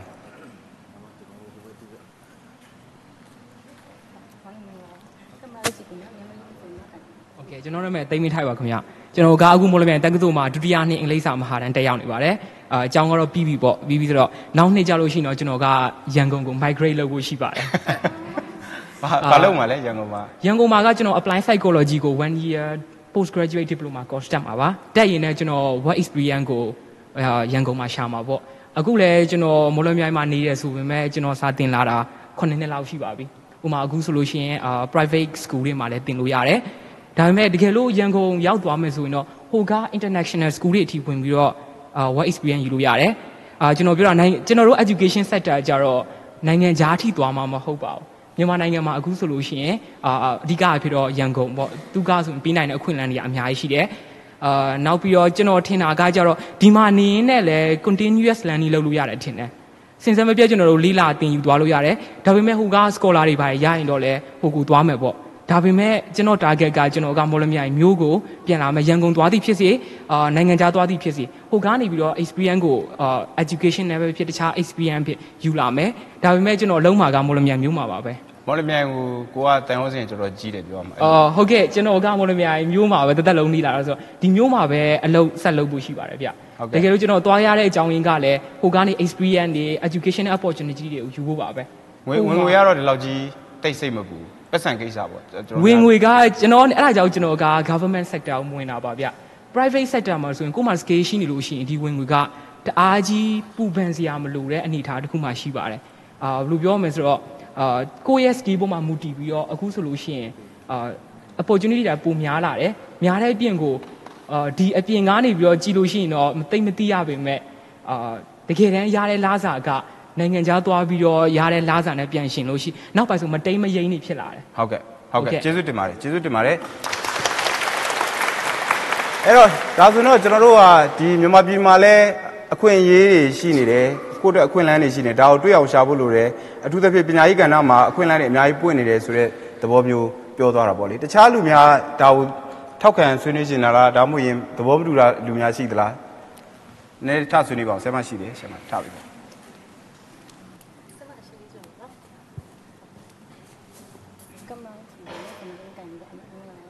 မင်္ဂလာပါရှင်ကျွန်မဒေါက်တာစကဝါဝင်းပါယုခဗေဒဌာနပါ အာကျွန်မစာသင်လို့ရှိရင်တပည့်တွေကိုအမြဲတမ်းဆုံးပါပါတယ်ကျွန်မတို့ဝိစာသိပ္ပံကျောင်းမှာဟို institute မဟုတ်ပါဘူးအဲ့တော့တက္ကသိုလ်ပညာရေးဆိုတာစာတစ်ခုတည်းသင်တာမဟုတ်ပါဘူးလို့ကျွန်မအမြဲတမ်းဆုံးပါပါတယ်အဲ့ဒီတော့အလုပ်အကင်ခွင့်လန်းရချင်တယ်မရချင်ဘူးဆိုတော့ကိုယ့်ပေါ်အများကြီးမူတည်ပါတယ်ကျွန်မတို့လည်းအလုပ်တစ်ဖက်နဲ့ကျောင်းတက်ခဲ့တာပါဝေးတင်နဲ့ qualify ဝင်ခဲ့တာပါအဲ့တော့ဘာလို့မှလဲဆိုတော့ကိုယ်သိဖို့ပဲလိုတာပါလူငယ်တွေမှာရည်မှန်းချက်ပြောက်နေတာတခုကအဆိုးဆုံးပါပဲအဲ့တော့ တက္ကသိုလ်မှာငါတို့ကဒီဘွဲရသွားပြီဘွဲရသွားပြီတော့ငါတို့ဘာလုပ်တော့မှာလဲဒီ paper လေးယူထားဒီ major လေးယူထားတော့ငါတို့ကအပြစ်မှာဘာထွက်လုပ်လုပ်မှာလဲလုပ်စရာဘာလုံးမမရှိဘူးဒါခံယူတဲ့လူပေါ်ပဲမူတည်ပါတယ်ဒီမှာအဲ့လိုပဲမြင်ပါတယ်အဲ့တော့ပညာရေးမကောင်းဘူးမကောင်းဘူးမပြောနေပါနဲ့အဲ့တော့ကိုဘလို့တင်ယူနေလဲဆိုတဲ့ပုံမူတည်ပါတယ်တန်းထဲမှာဆီယမတွေစာတင်တယ်စာတင်တဲ့နေရာမှာဆီယမတွေခိုင်းတဲ့အတိုင်းလုပ်ပါသလားအဲ့ဒါလေးပြန်မေးချင်ပါတယ်အဲ့တော့ကျမရည်စရာတော့မဟုတ်ပါဘူးတခုပြောပါရစေခလေးတွေကို မင်းတို့စာတစ်ခုတည်းတင်တာမဟုတ်အချစ်ရေးစီးပွားရေးလူမှုရေးတယောက်နဲ့တယောက်နဲ့ဘယ်လို communication လုပ်လဲတယောက်ရဲ့ပြဿနာကိုတယောက်ဘယ်လိုကူပြီးတော့ဖြေရှင်းသလဲဒီလိုမျိုးတွေလုပ်ပြီးတော့တင်ယူသွားမယ်ဆိုရင်မင်းတို့ဒီအလုပ်အကင်တွေမှာရောဒီဟာတွေကိုအသုံးချလို့မရဘူးလားကျမအဲ့လိုမျိုးအများနဲ့ဆုံးမပါတယ်အဲ့တော့နိုင်ငံခြားသွားတယ်စောစောပြောသလိုပဲနိုင်ငံခြားမှာအလုတ်ကင်အခွင့်အလန်းအလုတ်သမားရဲ့အတွက်ဥပဒေတွေရှိတယ်သူတို့ကြောင့်မို့သွားပြီးတော့အလုတ်လုတ်ချင်ပါတယ်လို့ပြောပါတယ်အဲ့တော့ သူတို့နိုင်ငံသားအတွက်ပဲသူတို့လုံခြုံမှုပေးတာလေကိုယ့်နိုင်ငံမှာကိုယ့်ကိုလုံခြုံမှုပေးထားတယ်အဲ့တော့သူများနိုင်ငံသွားပြီးတော့သူများနိုင်ငံသားကိုပဲလုံခြုံမှုပေးတဲ့ဟာကိုကိုယ့်ကိုလုံခြုံမှုပေးပါမယ်လို့မျှော်လင့်ထားသလားအဲ့ရလေးတွေလည်းတွေးစရာဖြစ်လာပါတယ်ပြီးတော့ဟုတ်တယ်စောစောကလိုမျိုးလုံအားကားတွေကလုံသားမရှိဘူးလုံအားကားတွေကလည်းမြင့်တယ်အဲ့တော့ vocational သင်တန်းတွေဒီမှာပဲပေးပြီးတော့နိုင်ငံခြားသားအလုပ်အကင်အလုပ်သားတွေကိုခေါ်မခေါ်ဘဲနဲ့ ကိုယ့်မြန်မာနိုင်ငံသားတွေကိုပဲ vocational သင်တန်းတွေလုပ်ပေးပြီးတော့မြန်မာနိုင်ငံမှာပဲခွင့်ထားလို့ရှိရင်ဒီလုပ်သားတွေကိုပဲပြန်ခတ်မယ်ဆိုလို့ရှိရင်လောက်အားကတွေလည်း short short နိုင်မယ်ပြီးတော့စောစောပြောသလိုအဘပြောသလိုပဲအဲ့မှာ skillful ဖြစ်တဲ့လုပ်သားတွေရမယ်နိုင်ငံခြားတွေသွားနေစရာမလိုဘူးအဲ့တော့ကိုယ့်နိုင်ငံမှာ vocational သင်တန်းနဲ့ပတ်သက်ပြီးတော့ဘာတွေများဖွင့်ထားပြီးပြီလဲ SME နဲ့ပတ်သက်တော့ဘယ်လောက်ထိအတိုင်းအတာအထောက်ပံ့နေပေးနေပါသလဲအဲ့လိုမျိုးလေးတွေတွေးစရာဖြစ်လာပါတယ်ဟုတ်ကဲ့ဘယ်လောက်ပြီးပါလဲဟုတ်ကဲ့ကျေးဇူးတင်ပါတယ် ဆွေးနွေးကျင်တဲ့လူတွေရှိပါဦးမယ်ကျွန်တော်ခဏတတိယပိုင်းကျရင်လှည့်ပေးပါမယ်အခုဆရာစီကိုမေကွန်း၃ခုရောက်လာပါတယ်နံပါတ်1ကတော့အခွင့်အရေးတွေမြန်မာပြည်မှာအလုပ်သမားတွေအတွက်အကာအကွယ်ပေးထားပြီးပြီလားနောက်တစ်ခုကကျတော့ vocational training တွေနဲ့ပတ်သက်ပြီးတော့မှဘာတွေအစိုးရဘိုင်းကစီစဉ်နေလဲဆိုတဲ့ကိစ္စအဓိကတော့အဓိကမေးခွန်းနှစ်ခုပါဟုတ်ကဲ့ဟုတ်ကဲ့ဆရာကျွန်တော်တို့ဒီအခွင့်အရေးအလုံသမားအခွင့်အရေးကခုနပြောတာဝင်ငွေဝင်ငွေကကျွန်တော်ကအနည်းဆုံးခကြီးငွေလို့ပြောပါ ဟုတ်ကဲ့ in general worker ကိုပြောတာပါသူတဲ့ကျွမ်းကျင်တာသူကျွမ်းကျင်တော့ပေးပါကျွန်တော်က4800သတ်မှတ်ထားတယ်4800တဲ့ short မပေးပါနဲ့4800နဲ့ပို့ပေးဘယ်လောက်ပေးပေးအနည်းဆုံးဖြစ်ရမယ်အနည်းဆုံးပဲဖြစ်ရ short ပေးရင်ရောဆရာတို့ short ပေးကျွန်တော်ရေးရေးယူယူလားမှာပါရေးယူကျွန်တော်တို့ short ပေးရင်ချက်ချင်းကျွန်တော်သွားရှင်းပါတယ်ခင်ဗျားဒီ short ပေးတယ်ဘယ်လောက်ဘယ်နှစ်လတော့ပေးထားတယ်ပြန်ပေးပါဒါကျွန်တော်တို့ဆောင်ရွက်နေတဲ့အပိုင်းပါအ vocational training ရဲ့ကျွန်တော်ပညာရေးကဒါ vocational training education လုပ်နေပါလေကျွန်တော်တို့က worker ကို skill လုပ်ပေးပါတယ်ကျွန်တော်တို့လုပ်မှဌာနဒါအားလုံးကျွန်တော်ပူပေါင်းစက်မှုရောကျွန်တော်တို့အလုပ်ရှိတဲ့လူတွေကိုကျွန်တော် certificate ပေးတယ်လို့ပါလို့ဆိုတာကျွန်တော်ဒီ certificate ပေးမှကျွန်တော်နောက်ပြီးဆို ASEAN level မှာကျွန်တော်က scale worker တွေကိုသရူးသွားလို့ရအောင်သရူးသွားရင်လည်းဒီ certificate ရရင်ဘယ်နိုင်ငံသွားလို့လို့ဒီဟာပဲဖြစ်ရမယ်ဆိုတဲ့ဟာကျွန်တော်ဆောင်ရွက်နေရပါရှိ vocational training ကကျွန်တော် base education ကဆောင်ရွက်နေတာရှိပါတယ်ကျွန်တော်အများကြီးအခုဟိုတုန်းကဆိုကျွန်တော်ငယ်တုန်းကဆို JSS ရှိ SMB ကဒီနှစ်ပိုင်းတွေထဲမှာများလာလို့ဆရာ SMB မှာကလည်းလုပ်ရတဲ့လုပ်တယ်အလုပ်သမားဥယျာဉ်များလာပဲဆရာတို့ကိန်းကနန်းနေဆိုလို့ရှိရင် SME မှာလည်းကျွန်တော်ဆောင်ရွက်နေတာရှိတယ်ဒါပေမဲ့ကျွန်တော်တို့ဒီမှာကိန်းဂန်းကြတခုကျွန်တော်တို့ကအခု SME ကရတဲ့ဟာကျွန်တော်တို့ Liverpool survey ရဆိုတော့ကျွန်တော်က household base လောက်တဲ့ကောက်တဲ့ survey ကကျွန်တော်ရှိပါဒါပေမဲ့ SME ကျွန်တော်2ယောက်3ယောက်တချို့ကလေ4ယောက်တော့လုပ်တဲ့ဟာကြကျွန်တော်တို့မှာဒါဒီလောက်တာကျွန်တော်တို့ liver ရုံးဒီမှာဒီလောက်တာမရှိရင်အဲ့ဒီဟာရဲ့ data ကကျွန်တော်တို့မှာအခက်အခဲအားနေပါတယ် SMB ကရတဲ့ဝင်ငွေကစီးပွားရေးမှာစီးပွားရေးကရတဲ့ဝင်ငွေရဲ့ထုတ်လုပ်မှုရတဲ့ဝင်ငွေရဲ့ဘယ်လောက်ရခိုင်လို့ပါညာအဲ့လိုမျိုးကိန်းကနန်းတွေဆရာတို့အဲ့မှာတော့ကျွန်တော် SME SME ဌာနကတိတန့်ရှိပါတယ်။နော်အဲ့ဒါကိုသူတို့စီကသိပါလိမ့်မယ်ကျွန်တော်။ဟုတ်ကဲ့ဟုတ်ကဲ့ကျေးဇူးတင်ပါတယ်။ကျွန်တော်တို့ခဏနေတော့ကျွန်တော်တို့တတိယပိုင်းကြာရင်တော့ကြံကြံနေတဲ့အပိုင်းလေးတွေထပ်ပြီးတော့မှဆွေးနွေးရအောင်အခုတော့ကျွန်တော်တို့ဒီထိုင်းနိုင်ငံမှာရှိပြီးတော့မှမြန်မာလူသမားတွေအရေးကိုဆောင်ရွက်နေတဲ့ဥထုချက်ရှိပါတယ်သူကတော့ထိုင်းမြန်မာအခြေစိုက်ပညာရေးနဲ့ဖွံ့ဖြိုးတိုးတက်ရေးဖောင်ဒေးရှင်းရဲ့အမှုဆောင်ဒါရိုက်တာဖြစ်ပါတယ်အဲ့တော့ဆရာပြောနေတဲ့ထိုင်းမှာရှိနေတဲ့လူသမားတွေကိုဘယ်လောက်ထိအကူအညီပေးနေလဲသူတို့အတွက် ဘာယုံတွေဖွင့်ထားတယ်ညာယုံတွေဖွင့်ထားတယ်ပေါ့လေဒါကိုထုချစ်ကတော့သူကလက်ရှိလုပ်နေတဲ့လူပါအဲ့ဒါသူရဲ့လက်ရှိအခြေအနေလေးတွေလည်းဘာတွေပြောထားလဲကြည့်အောင်ကျွန်တော်တို့ဥမာဖြစ်ဗျာကျွန်တော်တို့ဒီလက်ကျွန်းလူတတ်မှုလိုမျိုးတတကဘာကျော်အလုပ်မျိုးနောက်ရန်အောင်လူတတ်မှုလိုမျိုးဒါအစိုးရတက်နေတယ်ကျွန်တော်တို့နဲ့ဟိုလိုလိုလာလာပူပေါင်းဆောင်ရွက်ခြင်းနဲ့စိတ်ပူပေါင်းဆောင်ရွက်တဲ့ပုံစံမျိုးမရှိခဲ့ဘူးဒါဒါကကျွန်တော်တို့မြင်တာထင်ထင်တာတဲ့ဟာပေါ့နော်အခုကျွန်တော်တို့အများအား မေတ္တာရက်ခံတယ်အချို့ကိစ္စတွေခင်ဗျားတို့လုပ်ပါအချို့ကျတော့ကျွန်တော်တို့အနေနဲ့အများကြီးအကန့်အသတ်ရှိတယ်ကျွန်တော်ထိုင်းမှာလည်းအခြေစိုက်တယ်ထိုင်းမှာလည်းမှတ်ပုတ်နေတာအဖွဲ့အစည်းကျွန်တော်တို့လုံးလုံးများတဲ့ဟာရှိတယ်ဒါတွေကအစိုးရကတာလုပ်မယ်ဆိုရင်ပေါ့ပေါ့ပါပါဟိုလုံးလို့ရတဲ့ဟာမျိုးတွေရှိတယ်ဥပမာဖြစ်ထိုင်းနိုင်ငံထဲမှာဒီလက်ကျိုးနဲ့ရနောင်းလူတက်မှုကိစ္စပဲမဟုတ်ဘူးတခြားမတရားဖန်ဆီးခံထားရနိုင်တဲ့အလုပ်သမားတွေထောင်နဲ့ရှိပြီးရှိနိုင်တယ်ဒါမှမဟုတ်ကျွန်တော်တို့ပြောတယ် ဟိုထောင်တွေမှာပုံမှန်အဖြစ်ပေါ့နော်ဒီ prison visit ဒီထောင်တွေမှာသွားလဲသွားလဲတဲ့အားလုပ်ပါထောင်ထဲမှာသွားတွေ့တယ်ဆိုရင်ဟိုတွေ့တဲ့လူကရှင်းပြမှာတော့ကျွန်တော်တို့ဒီအမှုဖြစ်တာဖြစ်တယ်ဒါကတော့ကျွန်တော်တို့မလုပ်ဘူးဒါကလုပ်တယ်သူတို့တကယ်လို့အပြစ်ရှိလို့ကြားရင်တော့မှပဲအစိုးရတရားအနေနဲ့ဒီအခြေခံဥပဒေဥပဒေမှာလည်းပါပါတယ်နိုင်ငံခြားမှာရောက်နေတဲ့မြန်မာနိုင်ငံသားတွေကိုအကောက်ဝယ်ပေးရမယ်ဆိုတဲ့ဟာလေဆိုတော့အဲ့ဒီကိစ္စတွေလည်းသူတို့မလုပ်ဘူးပေါ့ဗျာဒါပေမဲ့အစိုးရပြောနေလို့ပေါ့ဟိုအရင်ကဘာမှမလုပ်ထားတဲ့စာအုပ်ရှင်နည်းနည်းလုတ်တယ်လို့ဖြစ်နေပြီမဲ့ဟိုကျွန်တော်တို့ ဟိုမြင်နေတွေ့နေရတဲ့စာလို့ရှိရင်တော့ကြံတဲ့ဟိုအစိုးရမဟုတ်တဲ့အဖွဲ့အစည်းတွေလောက်တော့မှပဲ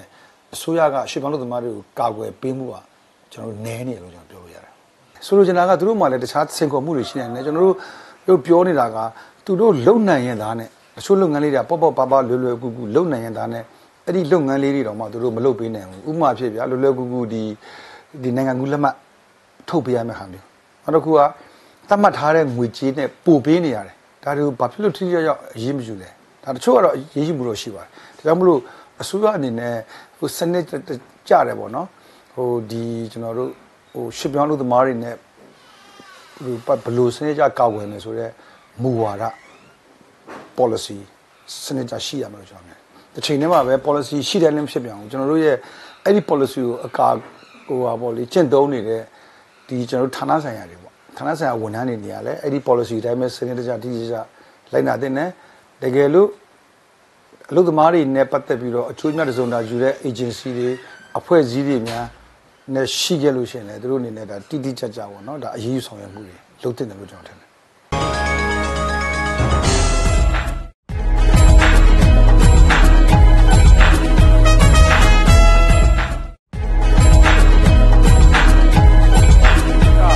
ပါတယ်ကျွန်တော်တို့ debate ရဲ့အထူးအစီအစဉ်တစ်ခုဖြစ်တဲ့ debate academy အစီအစဉ်အခုကျွန်တော်တို့ modern tech တူကနေပြီးတော့မှတင်ဆက်ပေးနေတာဖြစ်ပါတယ်အဲ့တော့ကိုတူချစ်ပြောသွားတဲ့စီမှာအာအများကြီးရှိပါတယ်အဲ့ဒီမှာကျွန်တော်တို့ကတော့အချိန်ရ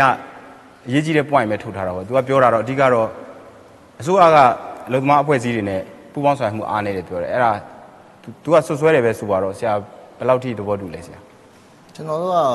ဒါကျွန်တော်နေရာသဘောမတူပါဘူး။ အာကျွန်တော်ပူပေါင်းဆောင်ရင်ပါကွန်ပျူတာတွေလည်းကျွန်တော် migration day ဆိုရင်ကျွန်တော်ဒီဇင်ဘာကျအမြဲတမ်းလာပါတယ်။ကျွန်တော်တို့မှာတန်ရာရှိတွေနဲ့ကျွန်တော်ပူပေါင်းဆောင်ရနေပါ။တန်ရာရှိကကျွန်တော်ကထိုင်းမှာ9ခုရှိပါတယ်။နော်လူကြီးစာရွက်တွက်ကြည့်ပါ။ထိုင်းမှာရောက်နေလူကြီး။ကျွန်တော်တက်နိုင်တွေအကုန်လုံးဆောင်ရပေးနေပါ။ကျွန်တော်ဘာနဲ့ပဲပို့ဖို့ဘာဘာနဲ့ပို့ဖို့သူတို့တွားပြီးတော့သူတို့လာပူပေါင်းရင်ကျွန်တော်ပူပေါင်းဆောင်ရတဲ့ရှိပါတယ်။အဲ့ဒါကိုကျွန်တော်မလေးရှားမှာလည်းဆိုတော့ကျွန်တော်2ဦးရှိတယ်ကိုရီးယားမှာဆိုတော့2ဦးရှိပါတယ် အဲ့ဒါကိုကျွန်တော်အချိန်နဲ့ကျွန်တော်တပြေးညီပဲဆောင်ရွက်ပေးလက်ရှိပါဒါရဲ့လူရဲ့သဘောပါပဲသူဒါတို့အရေးအတွက်ကများပြီးတော့မှအဲ့ပေါ်များပြီးတော့ကျွန်တော်တို့ဒီဝန်ဝန်ထမ်းရောဒါကျွန်တော်တို့နိုင်ငံတော်ရောကျွန်တော်တို့ဟိုနိုင်ငံမှာသွားရင်ဟိုနိုင်ငံရဲ့ငွေကြေးသုံးရတဲ့အခါမှာကျွန်တော်တို့မှာဘတ်ဂျက်ကတော့အကန့်အသတ်ရှိမှာဖြစ်ပါတယ်နောက်တစ်ခုကလေကျွန်းကိစ္စမှာရောအစိုးရအနေနဲ့လေကျွန်းကိစ္စမှာကျွန်တော်တို့အာကျွန်တော်နှစ်ယောက်ပေါ့နော်မြန်မာနိုင်ငံသားနှစ်ယောက်ကျွန်တော်ဆွဆွဲခံရတဲ့အဲ့မှာကဲ လူတော်တော်များများစိတ်ဝင်စားတော့ဘယ်လောက်ထိအစိုးရအနေနဲ့ဆောင်ရွက်ထားတာဆောင်ဝိုင်းလုပ်ပေးတာရှိလဲဆရာကျွန်တော်တို့လေကျုံးလဲကျွန်တော်တို့ဆရာတို့မီဒီယာမှာတွေ့မှာဖြစ်ပါတယ်ကျွန်တော်တန်မကြီးလဲတွားနေတာရှိတယ်ကျွန်တော်တန်ရရှိလဲတွားပြီးတော့လုပ်တာရှိပါတယ်ဒါသူ့နိုင်ငံရဲ့ဥပဒေရောရှိပါတယ်ကျွန်တော်တို့ဘက်ကဒါကျွန်တော်တို့ဆောင်ရွက်လို့ရတဲ့အပိုင်းတော့ကျွန်တော်တို့ဆောင်ရွက်ပေးမှာဆောင်ရွက်လဲလဲရှိပါတယ်နော်ဆက်ပြီးတော့ပူပေါင်းဆောင်ရွက်ဖို့ရှိမှာသူတို့ဒီနှစ်ပိုင်းတွေထဲမှာဆရာဒီနှစ်ပိုင်းတွေထဲမှာဆိုလို့ရှိရင်ဥပမာထိုင်းနိုင်ငံပဲဆိုတော့ထိုင်းနိုင်ငံမှာဆရာတို့ရဲ့ လုပ်ငန်းကိုတုချစ်ကတော့ပြောတာပေါ့တဖြည်းဖြည်းနဲ့တော့အရင်ထက်ဆိုင်တော့ကောင်းလာတယ်ပေါ့ပြောတယ်ပေါ့လေဆရာတို့ရဲ့စိတ်ထဲမှာဘယ်လောက်ထိကောင်းလာလဲထင်လဲဘယ်လောက်ထိမကောင်းသေးဘူးထင်လဲပေါ့လေအဲ့လိုမျိုးစဉ်းစားချက်ရှိလားဒါမှမဟုတ်ဒါကပြည့်စုံနေပြီဒီလောက်ဆိုတော့ရနေပြီအဲ့လိုစဉ်းစားပါလားဆရာကျွန်တော်ကပိုလောက်ရအောင်ပါပါနမို့ဆိုရင်ကျွန်တော်တို့ရဲ့အလုပ်သမားတွေကိုကျွန်တော်တို့ခွင့်ရေးကာကွယ်ပေးဖို့လောကကောင်းမှုမဖြတ်ဖို့လောက်ခလာစာရဖို့ကျွန်တော်ကဆောင်ရွက်ပေးလိုက်ရှိပါတယ်အခုလည်းတချို့အ လုပ်သမားတွေပြန်လာတယ်လောက်ခလာစာမရဘူးမရရင်ကျွန်တော်ကဒီမှာပြန်တောင်းပေးတာရှိပါတယ်တောင်းပြီးတော့ပြန်ပေးတာရှိပါတယ်ဥပမာမလေးရှားမှာဒီတိုင်းပါပဲကျွန်တော်ကဒါကျွန်တော်တို့ဆောင်ရွက်ပေးရမယ့်အပိုင်းသူတို့မရရင်သူတို့အခွင့်အရေးတွေကိုကျွန်တော်ဆောင်ရွက်ပေးလက်ရှိပါတယ်ဒါသူတို့အနေနဲ့လည်းအလုပ်သမားတွေအနေနဲ့လည်းကောင်းမှုဖြတ်တယ်ဒါမဲ့ကျွန်တော်တို့ကအလုပ်ကတော့အလုပ်သွားလုပ်တယ်ဆိုတာအလုပ်လုပ်မှပဲလာစာရမှာဖြစ်ပါတယ်အလုပ်မလုပ်ဘဲနဲ့တော့လာစာမရပါဘူးအဲ့ဒါလေးတော့ကျွန်တော်တို့အလုပ်သမားတွေက သိဖို့အတွက်ရှိမှာဖြစ်ပါတယ်ခေါင်းမှုဖြတ်တယ်ဆိုရင်ကျွန်တော်တို့လောက်ခမရဘူးမတူဘူးဆိုကျွန်တော်တို့စီကိုလှမ်းပြီးတော့တိုင်တာနဲ့ကျွန်တော်ကဒီတိုင်းတော့မသိနိုင်ပါဘူးအများကြီးတိုင်တာနဲ့ကျွန်တော်ကချက်ချင်းအရေးယူတာရှိပါတယ် agency တွေကျွန်တော်တို့အရေးယူတာရှိတယ် agency တွေဟိုအောင်ဖြစ်ရင်ကျွန်တော်တို့တခါတည်းယာယီပိတ်တယ်3လပိတ်တယ်6လပိတ်တယ်တခါတည်းကကျွန်တော်အပြီးပိတ်လိုက်တာရှိပါတယ်နောက်ပြီးတော့ကျွန်တော်တို့ဒီပွဲစားတွေရှိပါတယ်အဓိကကျွန်တော်တို့မြန်မာနိုင်ငံမှာပွဲစားပါပွဲစားပဲယုံတာများတာပဲကျွန်တော်ကဒီမှာတကယ်တရားဝင် agency တွေရှိတယ်ဒါသူသူတို့နဲ့ချိတ်ဆက်ပါလို့သူတို့ကဂျားတွေကပွဲစားကျွန်တော်ကမိသားစုပုံစံပေါ့လေဒါပေမဲ့ပတ်စံယူသွားတယ်ပတ်စံယူပြီးတော့တစ်ခုဖြစ်လာရင်ပတ်စံပြန်မပေးနိုင်တော့ဘူးမပေးနိုင်ရင်တိုင်တာတောတာရှိကျွန်တော်တို့ကျွန်တော် oversee act 26ပုံမှန်26လို့29 20အဲ့ဒါတွေကအရေးယူတာရှိပါတယ်တော်တော်များများရဲ့ကျွန်တော်အရေးယူလို့တရားစွဲလည်းရှိပါတယ်အဲ့ဒါကိုဟုတ်ကဲ့ကျေးဇူးတင်ပါတယ်ဆရာအဲ့တော့ကျွန်တော်ဒီမှာဒေါက်ခံခံလေးရှိတယ်တထုပ်အဲ့တော့ ကျွန်တော်တို့ကမွန်ပြည်နယ်ကဆရာမသိတဲ့အတိုင်းပဲကျွန်တော်တို့ migration တအားမြင့်တယ်မြင့်တော့ကျွန်တော်တို့ကမူဝါဒဘိုင်းမှာဒီ migration နဲ့ပတ်သက်ပြီးတော့မှဆရာတို့မူဝါဒစဉ်းစားတဲ့ခါကျရင်လေဘယ်လောက်ထိခေါင်းကိုက်ရတယ်လဲပေါ့လူသမားတွေကိစ္စတွေစဉ်းစားတဲ့ခါကျရင်ဒီ migration အကြောင်းကဘယ်လောက်ထိ seriously ကိုယ့်အတွက်ခေါင်းကိုက်စရာဖြစ်စေလဲပေါ့အဲ့ဒါလေးနည်းနည်းဆွေးနွေးပြပါလား migration နဲ့ပတ်သက်လို့အားလုံးပဲမင်္ဂလာပါရှင် အဲကျွန်မကတထုံမြို့နယ်မဲဆန္ဒနယ်မြေမှတ်1ရဲ့ပြည်နယ်လွှတ်တော်ကိုယ်စားလှယ်ဒေါက်ခိုင်လည်းဖြစ်ပါတယ်လက်ရှိမွန်ပြည်နယ်လွှတ်တော်ရဲ့ဥပဒေပြုရေးကော်မတီဥက္ကဋ္ဌဖြစ်ပါတယ်ဒီရွှေ့ပြောင်းလုပ်သားတွေနဲ့ပတ်သက်ပြီးကျွန်တော်တို့မွန်ပြည်နယ်လွှတ်တော်မှာပထမဦးဆုံးအာလွှတ်တော်ဒုတိယတက်တန်းမှာအဆိုတစ်ခုတင်ခဲ့ပူပါတယ်ဒါကဘာလဲဆိုတော့ဒီမှတ်ပုံတင်တဲ့အိမ်တော်စုဇယားပြဿနာအဲ့ဒီမှာစပြီးတော့ဖြစ်ပါတယ်ဒါနဲ့ပတ်သက်ပြီးတော့ကျမတို့လွှတ်တော်ဘက်အချမ်းမှာ migration နဲ့ပတ်သက်ပြီးတော့ တိကျတဲ့လူရည်စင်ရဖို့ကဒါပထမဆုံးအချက်ဖြစ်ပါတယ်အခုဟာကရှိနေတာပဲတည်တယ်တိကျတဲ့စင်မရှိဘူးဒါနံပါတ်1ချက်ဖြစ်ပါနံပါတ်2အချက်ကဘာဖြစ်နေသလဲဆိုတော့အဲ့ဒီနောက်မှာကပ်ပြီးပါလာတဲ့ crime တွေရှိပါတယ်ဟုတ်ဒီ crime တွေကလည်းကျမတို့ထည့်သွင်းစဉ်းစားမယ့်အချက်တွေတည်းတစ်ခုဖြစ်ပါတယ်ဒါဆိုဘယ်နေရာမှာဘယ်လို crime ကျူးလွန်လာပြီးဒီနေရာရောက်လာလဲဆိုတာကိုဒီမှာရှိရတဲ့သူတွေတော်တော်များများမသိပါဘူးဒီဟာလဲကျမတို့ စဉ်းစားရမယ့်အချက်ထဲမှာအများကြီးရှိပါတယ် migrate ဆိုတာကပြည်ပကိုသွားမှ migrate မဟုတ်ပါဘူးဒီပြည်ရင်းမှာက migrate တွေအများကြီးရှိပါတယ်တစ်ချက်ဖြစ်ပါတယ်နောက်တစ်ခုကကျမတို့မွေးဖွားလာတဲ့ကလေးတွေနဲ့ပတ်သက်တဲ့အချက်ဖြစ်ပါတယ်။မွေးဖွားလာတဲ့ကလေးတွေကအများသောအားဖြင့်ကလေးမွေးပြီးလို့ဆိုလို့ရှိလို့ရှိရင်ဒါ birth certificate ကသူတို့ရဲ့တကယ် rights ဖြစ်ပါတယ်။ ဒီအတွက်လည်းအခက်အခဲရှိပါတယ်။အဲ့တော့ကျမတို့လွတ်တော်ဘက်အချမ်းဒီဟာတွေလုပ်ပေးနိုင်သလားဆိုရင်ဒီမီဝါဒကတိုင်းဒေသကြီးပြည်နယ်လွတ်တော်ရဲ့ချလို့ရတဲ့အထဲမှာမပါဘူး။အော်ဒီ policy ဟာပြည်ထောင်စုရဲ့ policy တစ်ခုဖြစ်နေပါတယ်။ဒါကြောင့်မို့ကျမတို့ဒီထဲမှာလုံနိုင်တဲ့တစ်ချက်ကဘာလဲထင်းချောင်းချင်းအလုပ်ပဲရှိပါတယ်။ထင်းချောင်းချင်းဆိုတဲ့အလုပ်မှာဥပမာကျမတို့စီမှာဆိုရင်ကြိုက်မျောမှာ MIC အော် sorry MCL အာဘီလက်မြေဆက်ယုံရှိတယ်။အဲ့ဒီဘီလက်မြေဆက်ယုံမှာဆိုလို့ရှိရင် အာပြီးခဲ့တဲ့နှစ်တီတုန်းကဆိုလို့ရှိလို့ရှိရင်လာဝကနဲ့ပတ်သက်ပြီးတော့အာပြဿနာတစ်ခုရှိတယ်။ဘာလဲဆိုတော့ဒါကတော့ရွှေပြောင်းလုပ်သားနဲ့တော့မဆိုင်ဘူးသို့တော့ဒီမှာလာလုပ်တဲ့အာနိုင်ငံခြားသားတွေကလာဝကဥပဒေနဲ့ညှိစွန်းတဲ့အတွက်ယူဆောင်မှုတွေရှိတယ်။အဲ့ဒီလိုမျိုးပဲလာဝကပြဿနာနဲ့ညှိစွန်းနေတဲ့ migrants တွေလည်းတပုံကြီးရှိတယ်။ဒါနဲ့ပတ်သက်ပြီးတော့ကျမတို့က ပြည်내အစိုးရအနေနဲ့ action plan တစ်ခုတော့လုပ်တင်နေဆိုတဲ့ဟာမျိုးကိုလွတ်တော်ထဲမှာဆွေးနွေးတာမျိုးတွေတော့ရှိခဲ့ဘူးတယ်။သို့တော့ဒီဟာဒီကျမတို့တိုင်းဒေသကြီးပြည်내လုတ်ပိုင်ခွင့်ရှိတဲ့ဟာမဟုတ်ဘဲနဲ့ပြည်တော်စုရဲ့လုတ်ပိုင်ခွင့်ထဲမှာရှိတယ်။ကျမတို့ကတော့ဆွေးနွေးတယ်အာ action plan တွေချဖို့ပြောတယ်ဒါမျိုးပဲပြောလို့ရမယ်ဒီထဲမှာဆိုရင်အတိုင်းသားကြီးကကော်မတီဥက္ကဋ္ဌလည်းပါပါတယ်ဟုတ်ကဲ့ဆိုတော့အဓိကကြတာကတော့မှတ်ပုံတင်တကောင်ဆင်းရလဲဒီထဲမှာအဓိကချတဲ့အချက်အနေနဲ့ပါနေပါတယ်နောက်တစ်ခုကအခုဒီမှာဆရာရှိတော့တလက်စာတယ်ကျွန်မပြောပါကျွန်မအမျိုးသမီးနဲ့ကလေးတငယ်ခွင်းဆိုင်ရာကော်မတီဥက္ကဋ္ဌလည်းဖြစ်ပါတယ်ကျွန်မစီမှာအာကော်မတီ member ဖြစ်အလုပ်သမားရုံးကတယောက်ပါတယ်ရင်တော့ဆရာမဒေါ်ကြီးဖြစ်ပါတယ်အခုကတော့အစ်စ်ပြောင်းလာတဲ့အဲဆရာပါပါတယ်အဲ့တော့ကျမတို့က မြို့နယ်တိုင်းမြို့နယ်တိုင်းမှာ labor နဲ့ပတ်သက်ပြီးတော့အသိပညာပေးဟောပြောပွဲတွေလုပ်တယ်နောက်တစ်ခုကတရားဝင်အလုပ်သွားလုံးဖို့အတွက်ဆိုပြီးတော့ awareness ကိုပေးတယ်အဲ့ဒီလုပ်ငန်းစဉ်ကိုတော့လွှတ်တော်ကလှုပ်ဆောင်နေပါတယ်ဆိုတာဒီနေရာမှာပြောပြစီဟုတ်ကျေးဇူးတင်ပါဟုတ်ကဲ့ကျေးဇူးတင်ပါတယ်ဆရာမ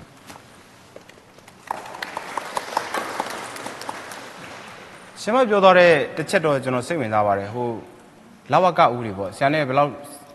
ပြောလို့ရလဲဘယ်လောက်ဆိုင်လဲတော့ဆရာပဲဆုံးဖြတ်ပါ ကျွန်တော်ထင်တယ်ညုံပြည်နယ်တစ်ခုတည်းတော့မဟုတ်ပါဘူးတကယ်တမ်းကျတော့လေနိုင်ငံသားတွေဟိုတလောပဲကျွန်တော်တို့သတင်းတစ်ခုတက်လာပါတယ်ကျွန်တော်တို့တရုတ်နိုင်ငံသားတွေကျွန်တော်တို့ဖရဲလာဆိုင်နေတယ်ဆိုတဲ့ဟာမျိုးပေါ့အများကြီးရှိပါတယ်ကျွန်တော်တို့မြန်မာပြည်ထဲမှာအဲ့လိုနိုင်ငံသားတွေဝင်ဒါလည်း migrate တစ်မျိုးပေါ့လေကျွန်တော်တို့ကကျွန်တော်တို့စီထွက်သွားတဲ့လူတွေကိစ္စကိုပဲပြောရင်လည်းဒါ migration ကမပြည့်စုံပါဘူးဆရာမကျေးဇူးတင်ပါတယ်ကျွန်တော်တို့ internal migration လည်းပြောသွားတယ်ပြီးတော့မှအပြင်ကဝင်လာတဲ့လူတွေကိုကျွန်တော်တို့ကမတားဆီးနိုင်ဘူးဆိုတဲ့ကိစ္စလည်းရှိပါတယ်အဲ့ဒါတွေနဲ့အဲ့ migration တွေကိုကျွန်တော်တို့ကဘယ်လိုဆရာတို့မှာမူဝါဒတွေ လှုပ်ဆောင်နေတာတွေရှိပါသလားအဲ့ဒါလည်းသိချင်ပါတယ်ခုနကကျွန်တော်တင်ပြဆိုပါပဲနိုင်ငံခြားအလုပ်သမားဥပဒေကကျွန်တော်ရေးဆွဲနေတယ်ရေးဆွဲဒါကြရင်ကျွန်တော်တို့အလုပ်သမားဘက်ကကျွန်တော်ကဝါပါမင်တို့ပါလို့လည်းကင်သွားဆောင်ရွက်သွားမှာဖြစ်ပါတယ်ဒီအခုဟာကြ state permit တို့ပါကြလူမှုကြီးကြပ်ရေးဆိုင်ရာဆိုင်ပါလေကျွန်တော်တို့ဝန်ကြီးဌာနအောက်မှာလည်းကျွန်တော်ကအလုပ်သမားရေးရာဆိုင်ဟိုဘက်ကြလူမှုကြီးကြပ်ရေးဆိုင်ရာဆိုင်ရှိပါနှစ်ပိုင်းရှိပါတယ်အဲ့ဒါကိုကျွန်တော်ခုနကျွန်တော်ပြန်ရောက်နေကျွန်တော်တင်ပြသွားမှာဖြစ်ပါတယ်။ तू ကတရားမဝင်ဘဲနဲ့မှာ ရောက်လာပြီးတော့မှအလုတ်လာလုံနေတယ်ဆိုရင်ရောအလုတ်သမားဥပဒေနဲ့မညီဘူးလားဆရာသူကကျွန်တော်တို့နိုင်ငံသားအလုပ်သမားဥပဒေမရှိသေးလို့တကယ်လို့ရှိရင်တော့ကျွန်တော်တို့ဒါအရေးကြီးသွားရေးလို့ရပါပါတယ်နိုင်ငံသားအလုတ်သမားဥပဒေမြန်မာပြည်မှာရှိကုန်မရှိသေးတာရှိကုန်မရှိသေးဘူးဆွဲနေတယ်ကျွန်တော်တို့ဆွဲနေတော့ပုံမှာကျွန်တော်တို့ရှင်းနေကြုံရုံကိုကျွန်တော်ပြန်လာပါပြီပြန်လာရင်ကျွန်တော်ကဒါတက်ဆိုင်ရာလုံတီလို့ပါဘူးတင်မယ်တင်ပြီးတော့ကျွန်တော်တို့လွတ်တော်ဟိုတမန်ရုံးတင်မှာလွတ်တော်တင်မှာကျွန်တော်ဆောင်ရွက်တယ်မှာဒါဒီနိုင်ငံသားအလုပ်သမားဥပဒေကကျွန်တော်ဟိုတုန်းကလုံးတယ်ကျွန်တော်ဆွဲလာ3 4 5နှစ်ကျွန်တော် ကျွန်တော်မှလည်းအများကြီး defense လုပ်ပြီးတော့ကျွန်တော် discuss လုပ်ပြီးတော့လုပ်နေပါ तू ကကျွန်တော်တို့ကအခုကပို့ပြီးတော့မှမြန်လာတော့ဗောနော်ခက်ကမြန်လာတော့လူတွေအပြောင်းရွှေ့မှုကတော်တော်လေးမြန်လာတယ်နှီးပေါင်းစုံဖြစ်လာတဲ့ခါကျတော့ကျွန်တော်တို့မှနိုင်ငံသားဥပဒေနိုင်ငံသားအလုပ်သမားဥပဒေမရှိဘူးဆိုတော့ကျွန်တော်ဒါလည်းတေချာလောမြန်မြန်ဆက်ဆက်မြန်မြန်ဆန်လောက်ရမှာကိစ္စတွေမှာပါသွားတော့ပေါ့ဒီဖရဲလို့ဘာလို့ကြာတော့ကျွန်တော်ကဘော်လာနေဝင်လာဝင်လာဟုတ်ဘော်လာဝင်လာကြဘော်လာမှာလည်းဒါစီးကြက်တဲ့ဟာတွေရှိပါတယ်ကျွန်တော်တို့တက်ဆိုင်ရာ ကျွန်တော်တို့တက်ဆိုင်ရာအစိုးရတွေပြည်နယ်တိုင်းအစိုးရတွေကဆောင်ရွက်လို့ရပါကျွန်တော်တို့ဒီမှာကျွမ်းကျင်လောက်သားနိုင်ငံသားလောက်မှာကြာကျွန်တော်တို့ MIC ကခွင့်ပြုပါ6လခွင့်ပြုတယ်3လခွင့်ပြုတယ်အဲ့ဒါရှိပါရှိရင်တော့ကျွန်တော်ကကျွန်တော်တို့ foreign worker registration card ဆိုတော့ကျွန်တော် issue ထုတ်ပြီးပါအဲ့ဒါကိုကျွန်တော်ဘယ်နှစ်ယောက်ရှိတယ်ပါစရင်းနဲ့သိအောင်ဒါဆိုရင်ကျွန်တော်ကဒီအတွက်ရောကျွန်တော်ဆောင်ရွက်ပေးတယ်ရှိတယ်ဆိုတာကျွန်တော်တင်ပြလို့ဟုတ်ကဲ့ကျေးဇူးတင်ပါတယ်တခြားဘယ်သူတွေဆွေးနွေးဖို့ရှိသေးလဲဒီမှာဟုတ်ကဲ့ ကြခုနိုင်ကိုနဲ့ဆရာနဲ့ခဏဆရာရင်ဆွေးနွေးလိုက်ပါကျွန်တော်တို့မိုက်တင်ပါပါ sorry ကျွန်တော်မိုက်ရှိမှထားပြီးမိနေကျွန်တော်ကျွန်တော်နာမည်ဦးလှသိမ့်ပါကျွန်တော်ကဟိုမိုးရန်ထက်နာမည်နဲ့မြတ်ထက်ဝေရန်ကလောင်နာမည်နဲ့စောင်းပါတီးရေးနေတဲ့သူပါမော်လမြိုင်တက္ကသိုလ်ကျောင်းစင်းတူပါပဲကျွန်တော်ကလေးဘဝတွေကဒီ မော်လမြိုင်မြို့ကြီးอ่ะဆိုလို့ရှိရင်မှောင်ခိုရဲ့မြို့တွေဖြစ်ခဲ့တဲ့ခါမှာကျွန်တော်တက္ကသိုလ်တက်ရင်နဲ့ကျောင်းမှာဒီဈေးမှာဆန်ရောင်းရင်းနဲ့ကျွန်တော်တို့ဘဝကိုတိဆောက်ခဲ့တဲ့ဒီမှာကျွန်တော်တို့တွေ့ကြုံခဲ့ရတဲ့အခုပြောနေတဲ့လှုပ်သားရွှေ့ပြောင်းလုပ်သားတွေနိုင်ငံခြားမှာအလုပ်တက်လို့အကျိုးအမြတ်ပါရတယ်လေပြီးရင်တစ်ဖက်ကပြန်ကြည့်ရင်ဘယ်လောက်ထိခိုက်နေတာဆုံးရှုံးတယ်လဲဒီနှစ်ခုကို အဖြေထုတ်လိုက်လို့ရှိရင်နံပါတ်1အချက်ကနိုင်ငံခြားမှာအလုပ်တက်လို့တယ်ဟုတ်ပါပြီအကျိုးအမြတ်တည်ရတယ်နိုင်ငံတော်ပြီးတယ်နောက်ထပ်စဉ်းစားရမှာသူတို့ဒီကနေအလုပ်ရှင်ကဒီလုပ်သားဘောကအကျိုးအမြတ်ညွန့်အဖူဘယ်လောက်ပြန်ရသွားတယ်လဲအဲ့ဒီရရှိမှုကနိုင်ငံတော်အတွင်းကိုစီးမျောဝင်ချလာမဆိုရင်နိုင်ငံတော်ကပိုးမိုးအကျိုးမရှိနိုင်ဘူးလားအဲ့မှာစကားလေးတစ်ခုကျွန်တော်အဖေကကျွန်တော်ကိုမှားတမ်းပြုခဲ့တယ်အဲ့ဒါဘာလဲဆိုရင်ငါတာတဲ့ တစ်ဖက်ကမ်းမှာရှိနေတဲ့ပန်းသီးကိုတွက်ခူးပြီးမစားလိမ့်နဲ့တဲ့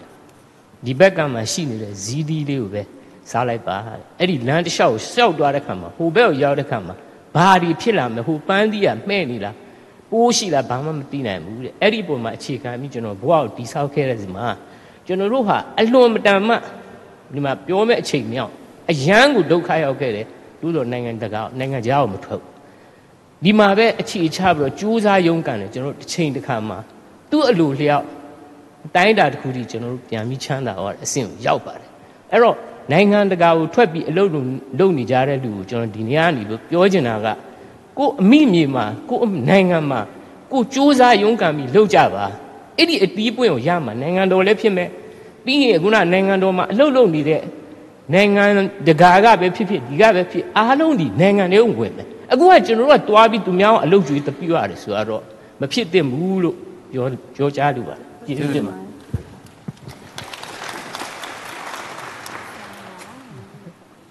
အားလုံးပဲမင်္ဂလာပါကျွန်တော်နာမည်နိုင်ကိုကိုလို့ခေါ်ပါတယ်ကျွန်တော်ကမွန်ပြည်နယ်ပေါင်မြို့နယ်မုဒ္ဓမကြီးရောက်မှာမွေးဖွားပါတယ်ကျွန်တော်တွင်ငယ်တန်းနေပြီးတော့ဆယ်တန်းအထိကိုကျွန်တော်မြန်မာနိုင်ငံမှာနေွားပါတယ်ပြီးတဲ့အခါမှာကျွန်တော်ထောင်လဲကြပါတယ်နိုင်ငံရေးကျင်းသားတူပါ1988မှာပထမဦးဆုံးမွန်ပြည်နယ်မှာတရားဟောတာကျွန်တော်ပါ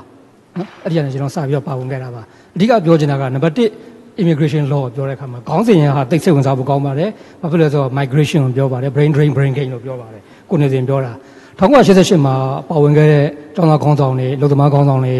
အာနိုင်ငံရေးခေါင်းဆောင်တွေကပြည်ပနိုင်ငံကိုရောက်သွားတယ်။အဲ့ဒီလူတွေကတန်ပေါင်းများစွာရှိပါတယ်။ဒါက political migration နဲ့သွားတာ။အဲ့လိုလူတွေပြည်ပမှာတကယ်ကိုကျွမ်းကျင်ပညာရှင်တွေနဲ့လုပ်နေတဲ့လူတွေအများကြီးရှိပါတယ်။အဲ့လိုလူတွေပြန်ခေါ်ရင်လည်းတိုင်းပြည်ရဲ့ growth ကဖြစ်ပါတယ်။ဒါက brain gain နဲ့ပတ်သက်ပြီးရနိုင်တဲ့အမြတ်ပေါ့နော်။ နောက်တစ်ခါ brain drain ပေါ့အခုလိုပြ brain drain ပြောတဲ့အခါမှာ1988မှာတိုင်ငင်ကထွက်သွားတဲ့လူတွေမှာ brain drain ဖြစ်သွားပါတယ်အဲ့လူတွေပြန်လာဖို့အတွက်အဲ့လူတွေကအသက်ကြီးရွယ်ရောက်သွားပြီ retirement အချိန်မှာနိုင်ငံတော်က immigration policy ပြင်ဖို့လိုပါတယ်နံပါတ်1မြန်မာနိုင်ငံမှာပြင်စရာဥပဒေ၄ခုရှိပါတယ်တစ်က1982နိုင်ငံသားဥပဒေဟိုဟာကိုပြင်ဖို့လိုပါတယ်နိုင်ငံသားစီစီရေးဥပဒေပဲရှိပါသေးတယ်အဲ့ဒီဥပဒေကိုပြင်ဖို့လိုပါတယ်ကျွန်တော်ပြောပြမယ် နည်းနည်းလေးမှာအဲ့ဒါဟိုနံပါတ်1ပြင်ဖို့လိုပါတယ်နံပါတ်2ကအဲနံပါတ်2ကအဲနံပါတ်2ကနိုင်ငံရချာအာပညာရှင်များမြန်မာနိုင်ငံမှာလုပ်တဲ့ဥပဒေကိုပြင်ဖို့လိုပါတယ်ဒီဥပဒေကလောလောဆယ်ရေးဆွဲတုံးကာလာပဲရှိပါတယ်အဲ့လိုရေးဆွဲခြင်းဖြစ်တဲ့အတွက် HTC ရဲ့မြန်မာ HTC လို့ခေါ်တဲ့ဒီတယ်လီဖုန်းတီထွန်းလူကမြန်မာနိုင်ငံမန္တလေးမြို့မှာမွေးပါတယ်ဒီလူကကဘာကျော်ဘီလန်နာပါအဲ့လိုလူတွေရောက်နောက်တစ်ခါကျွန်တော်တို့မော်လမြိုင်သားပဲဖြစ်တဲ့တိုက်ကဘန်လို့ခေါ်တဲ့ ဂျာပယုတ်စီယာကဘာမှာနံပါတ်1ဖြစ်ပါတယ်စင်ကာပူနိုင်ငံရဲ့အချမ်းသာဆုံးကမြန်မာနိုင်ငံသားမော်လမြိုင်မြို့ကပါအဲ့လိုလူတွေပြန်လာဖို့တော့ကိုမြန်မာနိုင်ငံခေါ်ဖို့လိုပါတယ်ဒါ policy ပြုပြုပြင်ပြောင်းလဲလုပ်ဖို့လိုပါတယ် open market သွားမယ်ဆိုရင် free and fair competition ကိုကျွန်တော်လက်ခံပါတယ် free and fair competition သွားမယ်ဆိုရင်နိုင်ငံတော်တိုင်ပင်ခံတော်မြန်မာနိုင်ငံမှာနှစ်ပေါင်း30တိတိနိုင်ငံမဲ့ဘဝနဲ့နေရတဲ့တိုင်းပြည်ပါဒီတိုင်းပြည်ကြောင့်ပြောရမယ်ဆိုရင် 1988ကနေပြီးတော့2012 April လရွေးကောက်ပွဲမဝင်ခင်ထိမှာနိုင်ငံတော်တိုင်ပင်ခံကမြန်မာနိုင်ငံမှာနိုင်ငံမဲ့ဘဝနဲ့နေရတာကိုကျွန်တော်တို့သင်ခန်းစာယူဖို့လိုပါတယ်လက်ရှိ immigration ဝန်ကြီးဗိုလ်မှူးချုပ်သိန်းဆွေကိုကျွန်တော်ပြောချင်တဲ့စကားရှိပါတယ်ဒါကလက်ရှိ immigration ဝန်ကြီးဗိုလ်မှူးချုပ်သိန်းဆွေကိုယ်တိုင်တော့ sanction ထိထားပါတယ် ဘာဖြစ်လို့လဲဆိုတော့မြန်မာနိုင်ငံသားဟောင်းတွေ63ယောက်ကို American မြန်မာပြည်ပြန်ပို့တဲ့အခါမှာဒီလူရဲ့လုပ်ပုံကင်ပုံအားနည်းမှုအတွက် American ပြည်ထောင်စုကဒီပုံကုံနဲ့တခြားဝန်ထမ်းတွေညွှန်ချုပ်တွေကိုပြစ်မှုပြစ်ဒဏ်ချမှတ်တဲ့အနေနဲ့ sanction ချထားပါတယ် sanction ကိုမြန်မာလိုဘာသာပြန်ပြစ်မှုပြစ်ဒဏ်ချတာဖြစ်ပါတယ်ဒါတွေကိုလေ့လာပြီးတော့ပြုပြင်ပြောင်းလဲဖို့လိုအပ်တာကိုကျွန်တော်တို့ကနှလုံးသားကိုမြေဝယ်ချပြီးတော့တောင်းပန်တာဖြစ်ပါတယ်ဒါနားနဲ့မနာဖွာနဲ့နာပါဒါနံပါတ်1ကျွန်တော်ပြောချင်တာနံပါတ်3တိုင်းပြည်ဟာ human resource ကိုကြည့်တဲ့အခါမှာလူသားရင်းမြစ်လို့ကြည့်ပါ လူသားနဲ့ရံမဖြစ်ပါနဲ့တိုင်းပြည်ကိုစစ်စစ်အုပ်ချုပ်ခဲ့တဲ့လူတွေဟာလူသားနဲ့ရံဖြစ်ပါတယ်ဒီလူသားတွေကအနာဂတ်မှာပြည်နာရှင်တွေဖြစ်လာလိမ့်မယ်နိုင်ငံကောင်းဆောင်တွေဖြစ်လာမယ်စီးပွားရေးပြည်နာရှင်တွေလုပ်ငန်းပြည်ရှင်အများကြီးဖြစ်လာနိုင်တယ်အဲ့ဒီဖြစ်လာတဲ့လူသားတွေကိုရင်းနှီးမှုနှံပေးပါလူငယ်တွေကိုလက်နက်ကင်ပြီးနိုင်ငံရေးလုပ်နေတဲ့လူတွေကပြန်ပေးဆွဲတယ်ပေါ်တာဆွဲတယ်ပြစ်တက်တယ် ထောင်ချတယ် migration ကနေကြော်သွားပါဦးမယ် migration ကိုဖြစ်သွားတာဟုတ်ကဲ့ဒါက conflict migration လို့ခေါ်ပါတယ်ဟုတ်ကဲ့ဒါ environmental migration ပြောတယ်အခုကျွန်တော်ပြောနေတာ political migration conflict migration နှစ်ခုကိုပြောပြနေတာအဲ့ဒီမှာတန်းပေါင်းများစွာတဲ့တိုင်းရင်းသားလူငယ်တွေက border line မှာဒုက္ခရောက်နေပါတယ်ခြေချိုးတယ်လက်ပြတ်တယ်ရတဲ့အလုပ်ကိုလုပ်ရတယ်ဟုတ်ကဲ့အဲ့လိုလူတွေနဲ့ပတ်သက်ပြီးစဉ်းစားထားဖို့လိုပါတယ်ဆိုတော့ကျွန်တော်ပြောကြရင်လည်းညီကုန်းချုပ်ပါဟုတ်ကဲ့ကျေးဇူးတင်ပါတယ်ဟုတ်ပါစောစောတော့ကျွန်တော်တို့အစမှလည်းပြောပါတယ်ဒါ migration မှာတော့သူကအများကြီးရှိတော့ political migration ကျွန်တော်တို့ရှိပါတယ် poverty ကြောင့်ဆင်းရဲကြောင့်ဖြစ်တဲ့ဟာရှိပါတယ်နောက် climate ကြောင့်ဖြစ်တယ် climate ကြောင့်ဆိုရင်ကျွန်တော်တို့ဘင်္ဂလားဒေ့ရှ်တို့ဘာလို့ဆိုရင် climate ကြောင့်ဖြစ်တဲ့ဟာတွေအများကြီးရှိပါတယ်ကျွန်တော်ဗမာပြည်မှာတော့ရှိပါတယ်ကျွန်တော် nuggets ဖြစ်တော့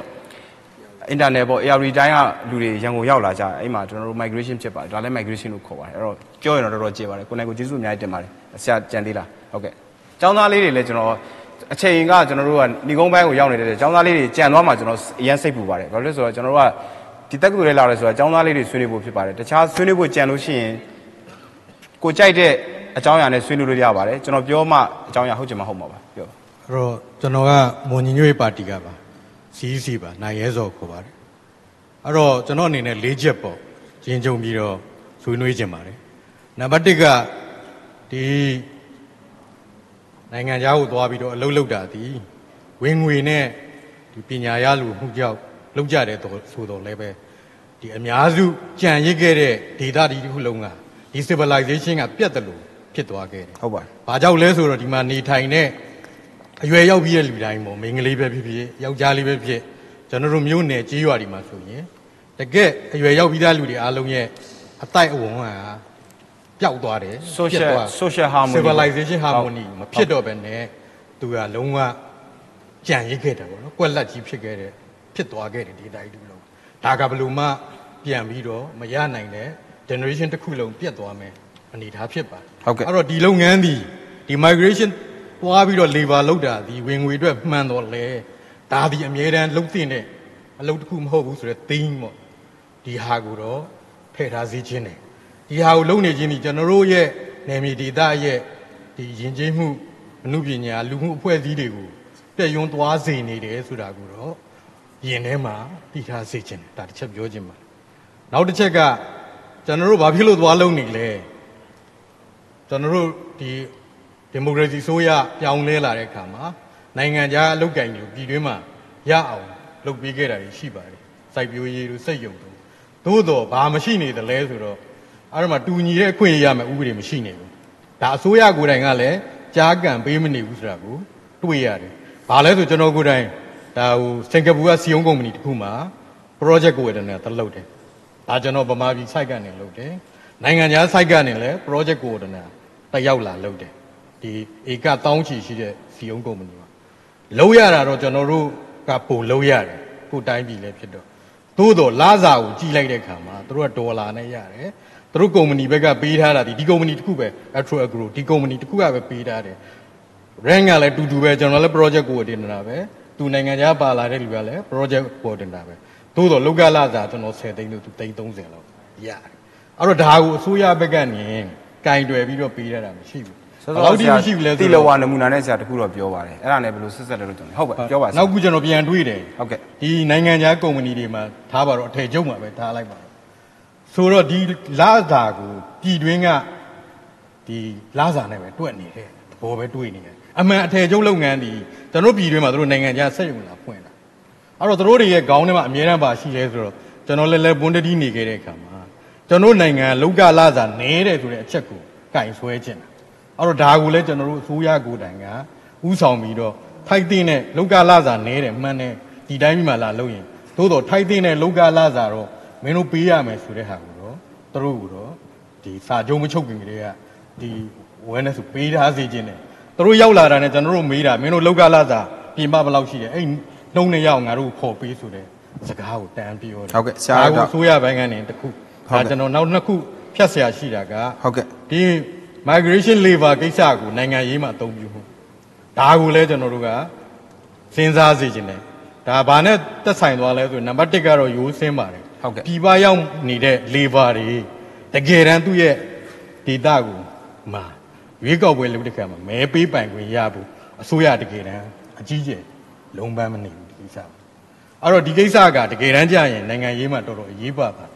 ကြံတဲ့ data တဲ့ဆိုင်ကျွန်တော်တို့လို data ကပိုရေးပါပါတယ်။ဘာလို့ကျွန်တော်တို့ရဲ့ data ဒီကြေးဝါတွေကိုအတူတူဖြစ်ကဟုတ်ကဲ့ကြေးဝါ data ကန်တွေအများစုကဒီနိုင်ငံမှာမရှိပါဘူးဟုတ်ကဲ့ပါဆရာ။နိုင်ငံခြားမှာပဲရှိတယ်ပြောရရင်တော့နယ်နိမိတ်ချင်းထိစပ်နေတဲ့နိုင်ငံမှာပဲရှိတယ်။အဲ့ဒါကြောင့်ရွေးကောက်ပွဲ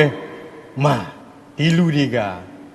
အဝေးရောက်မဲဆန္ဒပေးနိုင်ဖို့ဒီဒီ data ရဲ့ကိုစားပြုမှုကိုတော်တော်လေးအဆုံးဖြတ်ပြုပါတယ်ဟုတ်ကဲ့ဒါကြောင့်ဒီဟာကိုနိုင်ငံတော်ကနေပြီးတော့ဒါကျွန်တော်တို့သွားလုပ်လို့လည်းမရဘူးဟုတ်ကဲ့ပါနိုင်ငံတော်ကဒါကိုတန်တမာရေးရဝန်ကြီးဌာနနဲ့နိုင်ငံခြားရေးဝန်ကြီးဌာနနဲ့ဟုတ်ကဲ့ဆရာဒီဟာဒီညှိနှိုင်းပြီးမှသာလုပ်လို့ရတဲ့အလုပ်ဖြစ်တဲ့အတွက်ကျွန်တော်တို့ကတော့မင်းတို့မဲပေးကြပါဆိုတာလောက်ပဲလှုပ်ဆော်လို့ရတယ်ဟုတ်ကဲ့တကယ်တမ်းအဲ့ဒီမှာရှိတဲ့အလုပ်သမားတွေအားလုံးမဲပေးနိုင်မှုဒီ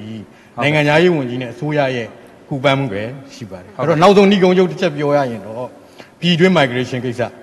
အဲ့တော့ပြည်တွင်း migration ကိစ္စကိုနိုင်ငံရေးမှာအသုံးပြုမှုပေါ့ဒါကိုလည်းကျွန်တော်တို့ကဒီရွေးကောက်ပွဲကော်မရှင်နဲ့တွေ့တိုင်းဒါပြီးခဲ့တဲ့လမှာကျွန်တော်တို့ရွေးကောက်ပွဲကော်မရှင်ကဖိတ်လို့ကျွန်တော်သွားတက်တယ်တက်တဲ့ခါမှာဒါကိုကျွန်တော်ထောက်ပြပြောဆိုခဲ့ပြီးသားဖြစ်တယ်။ဘာကြောင့်လဲဆိုပြည်တွင်း migration တွေကအများကြီးကျွန်တော်ဒေတာဝင်လာဟုတ်ကဲ့ပါအဓိကတော့ကျွန်တော်တို့ဒေတာအများဆုံးပဲ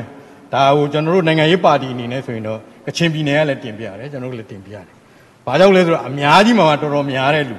အဲ့ဒီမှာဘာကိုဥပဒေကသတ်မှတ်ပေးလိုက်တယ်ဆိုရင်ဒီဒေတာမှာရက်ပေါင်း180နေထိုင်ရင်ဆန္ဒမဲပေးခွင့်ရှိတယ်ဆိုတဲ့အချက်ဒီဒေတာအတွက်ကိုပဲပေးခွင့်ရှိတယ်ဆိုတဲ့အချက်တစ်ချက်ပြီးတဲ့အခါမှာခုနပြောတဲ့ဟုတ်ကဲ့ပါဆရာဟလာယာယီအတိမတ်ပြုတဲ့အဲယာယီအတိမတ်ပြုမဟုတ်ဘူးပုံစံ30ပဲခုတော့ပေးတယ်အဲ့ဒီဟာတွေရဲ့မှတ်ပုံတင်တွေလုပ်ပေးတဲ့ကိစ္စတွေပေါ်လာတဲ့အခါမှာဒီ migrate တွေကဘယ်လိုဖြစ်လာလဲဆိုတဲ့အခါမှာဒီဒေတာတော့မဲပေးနိုင်တဲ့လူတွေဖြစ်လာတယ်ဒါကိုကျွန်တော်ဘာကြောင့်ပြောလဲဆိုတော့ ဒီဒေတာကိုမဲပေးနိုင်ပြီမဲ့သူတို့ရဲ့အခန့်ဒီဟိုဘက်ဒေတာကအခန့်ဖြစ်တယ်စစ်မှန်ဒီတဲ့ဒေတာကမဲတွေစစ်မှန်တဲ့ဖြစ်ပါကိုယ်စားလှယ်ကိုလည်းဟုတ်နံကဲ့ပါတ်1သူတို့ကမသိဘူးပြည်သူလူထုရဲ့ကိုယ်စားပြုမှုလည်းသူတို့တကယ်တမ်းတော့ဒီရဲပေါင်း180နဲ့မရနိုင်ဘူးဟုတ်ကဲ့ပါဆရာသို့တော့သူတို့တွေကဒီဒေသရဲ့မဲဆန္ဒရှင်ဖြစ်လာတယ်ကျေးဇူးတင်ပါတယ်ဆရာအဲ့ဒီတော့ဟာကိုဒီဟာကိုအသုံးပြုတဲ့ပါတီတချို့ကလည်းအသုံးပြုတာဖြစ်တဲ့အတွက်ဥပဒေလေးပြင်ဖို့ကောင်းဒီတယ် migration နဲ့ပတ်သက်တဲ့ဟာမှာနိုင်ငံရေးမှာအသုံးပြုမှုကိုလည်းဟုတ် ရပ်ကဲ့တန့်ပေးဖို့ဒါကိုလည်းကျေးဇူးချက်စဉ်းစားပေးဖို့ကျေးဇူးတင်ပါတယ်တင်ပြခြင်းပါတယ်နည်းနည်းရှည်သွားတာကျေးကျေးဇူးတင်ပါတယ်ကျေးဇူးတင်ပါတယ်ဆရာကျောင်းသားတွေရှိသေးလားကျွန်တော်တို့ကျောင်းဒီမှာအဓိကတော့ကျွန်တော်တို့နိုင်ငံရေးသမားတွေအလှည့်ရောက်လာတာပေါ့လေနိုင်ငံရေးနည်းနည်းကဲသွားရင်ခွင့်လွတ်ပါနိုင်ငံရေးသမားတွေအလှည့်ရောက်လာလို့ပါကျောင်းသားတွေပြင်းသွားမှလည်းကျွန်တော်စိတ်ပူပါတယ်ကျွန်တော်ကောင်းပါတယ်ကျွန်တော်တို့ခဏဆရာပြောသွားတဲ့အချိန်မှာကျွန်တော်စိတ်ဝင်စားပါတယ်ဒါယဉ်ကျေးမှုကိုပါချိန်ချောက်နေတဲ့ဆိုတဲ့ကိစ္စအရေးကြီးပါတယ်ဟုတ်ကဲ့ အာကျွန်တော်ကနီးမြတက္ကသိုလ်မော်လမြိုင်ကပြည်ဆောင်ခံဖြစ်ပါတယ်ကျွန်တော်ပြောချင်တာကတော့ဒီခဏဆမပြောလို့ပေါ့ဒီပညာရေးစနစ်နဲ့မဆိုင်ဘူးကျောင်းကျောင်းကိုယ်နဲ့မဆိုင်တယ်ပေါ့ဒီပညာရေးစနစ်ကတော့ဒါပေမဲ့ကျောင်းသားတွေမှာကျောင်းတွေမှာအရေးချင်းရှိတဲ့ကျောင်းသားရာရှိတယ်ဒါပေမဲ့အဲ့ဒီကျောင်းသားတွေကိုထောက်ပြပေးမဲ့အဖွဲ့အစည်းတွေကမရှိဘူးရန်နေတယ်နောက်ပြီးတော့အာကျောင်းမတင်တဲ့ကျွန်တော်ကဒီမြကျောင်းကတင်တဲ့စာတွေကအပြုတ်တိတ်တွေမဖြစ်ဘူးအပြုတ်တိတ်မဖြစ်တော့ဒီကျောင်းတင်တဲ့စာနဲ့လုံအောင်ကောင်ဝင်တဲ့စာနဲ့ကအာလုံအောင်ဝင်ရောက်ရင် ဒီပညာညာအရင်ကွာခြားပါပြီကွာခြားသွားတယ်ကျွန်တော်တို့ဒီဝင်လာတဲ့ဂျူနီယာအင်ဂျင်နီယာတွေကိုအရင်နှိမ်ရတယ်နှိမ်ရတော့အာပြီးတော့ရာလက်စာတွေကလည်းအရင်နေတယ်ဟုတ်ကဲ့အဲပြီးတော့လည်းကျောင်းကဘာတွေလိုအပ်လဲဆိုတော့ဒီ facility တွေမလုံလောက်ဘူးတင်ထောက်စုပစ္စည်းတွေကမလုံလောက်ဘူးအဲ့တော့ကျွန်တော်6နှစ်ကတင်ခဲ့တယ်ပြီးတော့ကျောင်းပြီးရင်ဘာဘာမတည်တဲ့ဘာဟာ junior level လောက်အောင်မရောက်တဲ့ engineer တွေနဲ့ပဲကျွန်တော်တို့ကျောင်းပြီးသွားကြတယ်ပြီးတော့ဘာမှအရေးချင်းမပြေးသွားကြဘူးမပြေးသွားကြဘူးပေါ့အာအဲ့တော့ဘာဖြစ်လာလဲဆိုတော့ကျွန်တော် အာလာစာရနဲလာရလာစာနဲ့ရောလာစာပို့တောင်းတယ်အလုံးရှင်တွေကရေရှင်းမရှက်သူကလာစာဘလို့ပေးပေးဖို့မရဘူးအဲ့တော့အခုတို့ engineer တက္ကသိုလ်မှာတစ်ခါတော့ debate သွားလို့မှထင်တယ်อืม engineer တွေကတော်တော်လေးအာမကြည်မနဲ့ဖြစ်နေကြတယ်သဘောရှိတယ်နော်အာနောက်ပြီးတော့အဲ့ဒီမှာအရေးချင်းရှိတဲ့လူတွေကတယောက်နှစ်ယောက်ထွက်လာတယ်ဒါပေမဲ့ဒီစီးပွားလုပ်ငန်းရှင်တွေအရေးချင်းတွေကိုလက်လွတ်မှာမဟုတ်ဘူးသူတို့ဆွဲထားမှာပဲဒါသူတို့ senior level ရောက်အောင်ချင်မှာသူတို့ပေးနိုင်တဲ့လာစာကနိုင်ငံခြားကပေးနိုင်တဲ့လာစာဆိုအများကြီးကွာသွားပြီ အဲ့တော့ဒီလူငယ်ဆိုတာကဒီအာလာစာပို့ပေးနေရပဲလူချင်းရတယ်ရောက်နိုင်ငံခြားထွက်ရတယ်ကျော်ပညာရှင်တွေကနိုင်ငံထဲမှာမရှိဘဲနဲ့နိုင်ငံခြားမှာရောက်သွားကြတာအဲ့ဒါကြောင့်ဟုတ်ကဲ့ဟုတ်ကျေးအဲ့ဇူးဒါပါကျွန်တော်တို့ကဆုံးရှုံးမှုဖြစ်တာပေါ့ဆရာဆွေးနွေးလို့ရပါပြီဆရာဆရာရနော်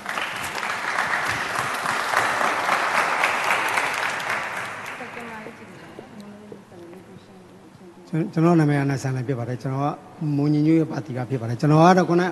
မွန်ညညွရဲ့ပါတီကပြောသွားတဲ့ဟာကိုပဲကျွန်တော်ထပ်ဖြည့်ဖို့လိုတယ်လို့ကျွန်တော်ယူဆတဲ့ဟာကိုကျွန်တော်ထပ်ဖြည့်တာပါကျွန်တော်ကချီချီပွဲမဖြစ်အောင်ကျွန်တော်ဟိုတဲပြောတဲ့သဘောကိုပဲဟုတ်ကဲ့ကျွန်တော်ပြောပါဟုတ်ကဲ့ကျေးဇူးတင်ပါအဲ့ဒါကျွန်တော်ဗာပြောချင်လို့ဆိုတော့ခုနပြောရတဲ့ထဲမှာဆိုတော့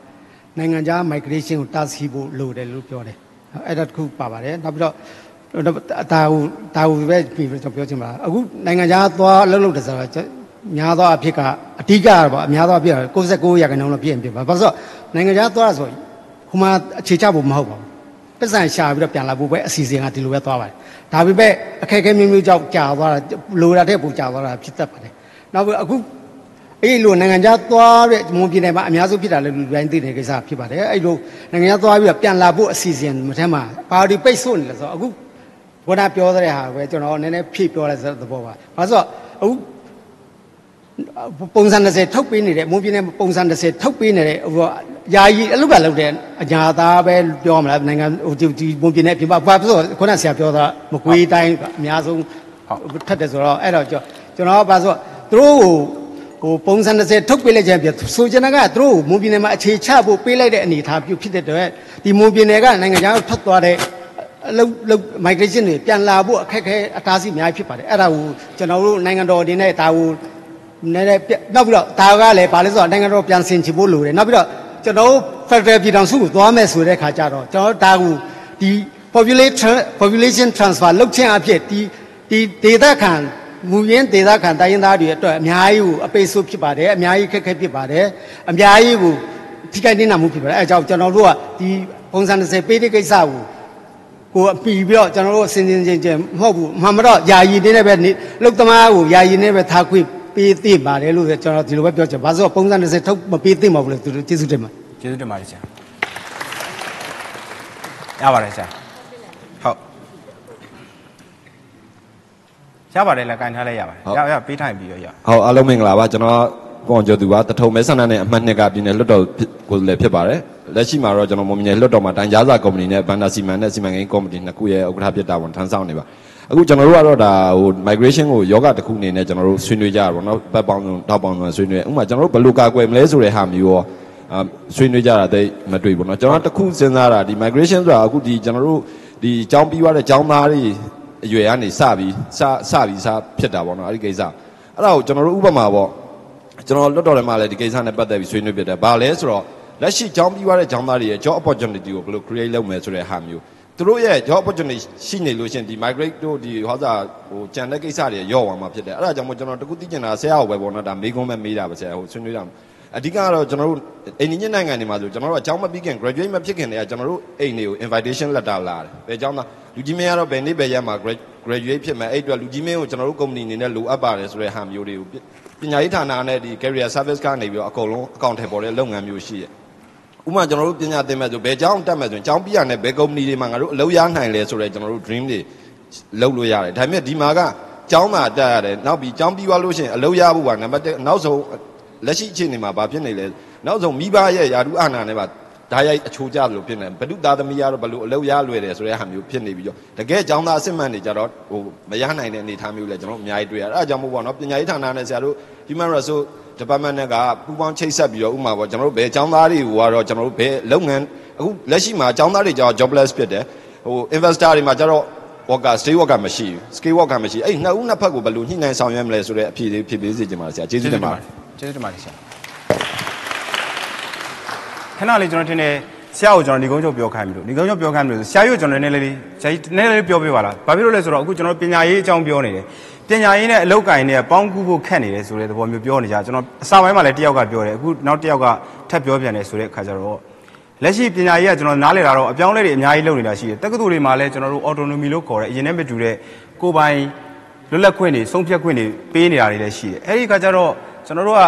ဟုတ်တယ်ကျွန်တော်တို့အရင်တော့ဆရာပြောတဲ့နမူနာအတိုင်းပဲ R&D ဆိုလို့ရှိရင်စင်ကာပူကနေပြီးတော့မှအလုပ်ကော်စားတစ်ခါတည်းတန်းပို့ထားတာကျွန်တော်တို့အကြောင်းမပြီးခင်တည်းကအရေးချင်းရှိတာကိုနောက်ပိုင်းကျတော့ကျွန်တော်လည်း engineering နဲ့ပြီးတာပါတကယ်တမ်းကျတော့ကျွန်တော်လည်းသိကျင်နေတာတော့မဟုတ်သူတို့နဲ့တူတူပါပဲအဲ့တော့ထားတော့အဲ့တော့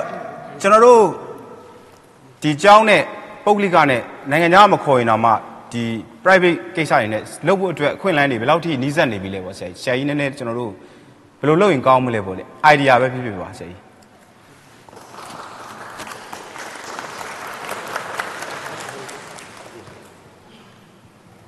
โอเคပါဟိုကျွန်တော်ကဟိုအနေနဲ့ပမောက္ခချုပ်အနေနဲ့မဟုတ်ပါဘူးကျွန်တော်ရဲ့ specialization က psychology ပါစိတ်ပညာဖြစ်ပါတယ်အဲ့ဒါနဲ့ပတ်သက်ပြီးတော့ကျွန်တော်ဆွေးနွေးသွားပါမယ်เนาะအဲ့တော့တက္ကသိုလ်ပေါ့เนาะတက္ကသိုလ်နဲ့ဒီဘက်က job opportunity နဲ့ပေါ့เนาะဒီခါလေးတက္ကသိုလ်ဆိုတာ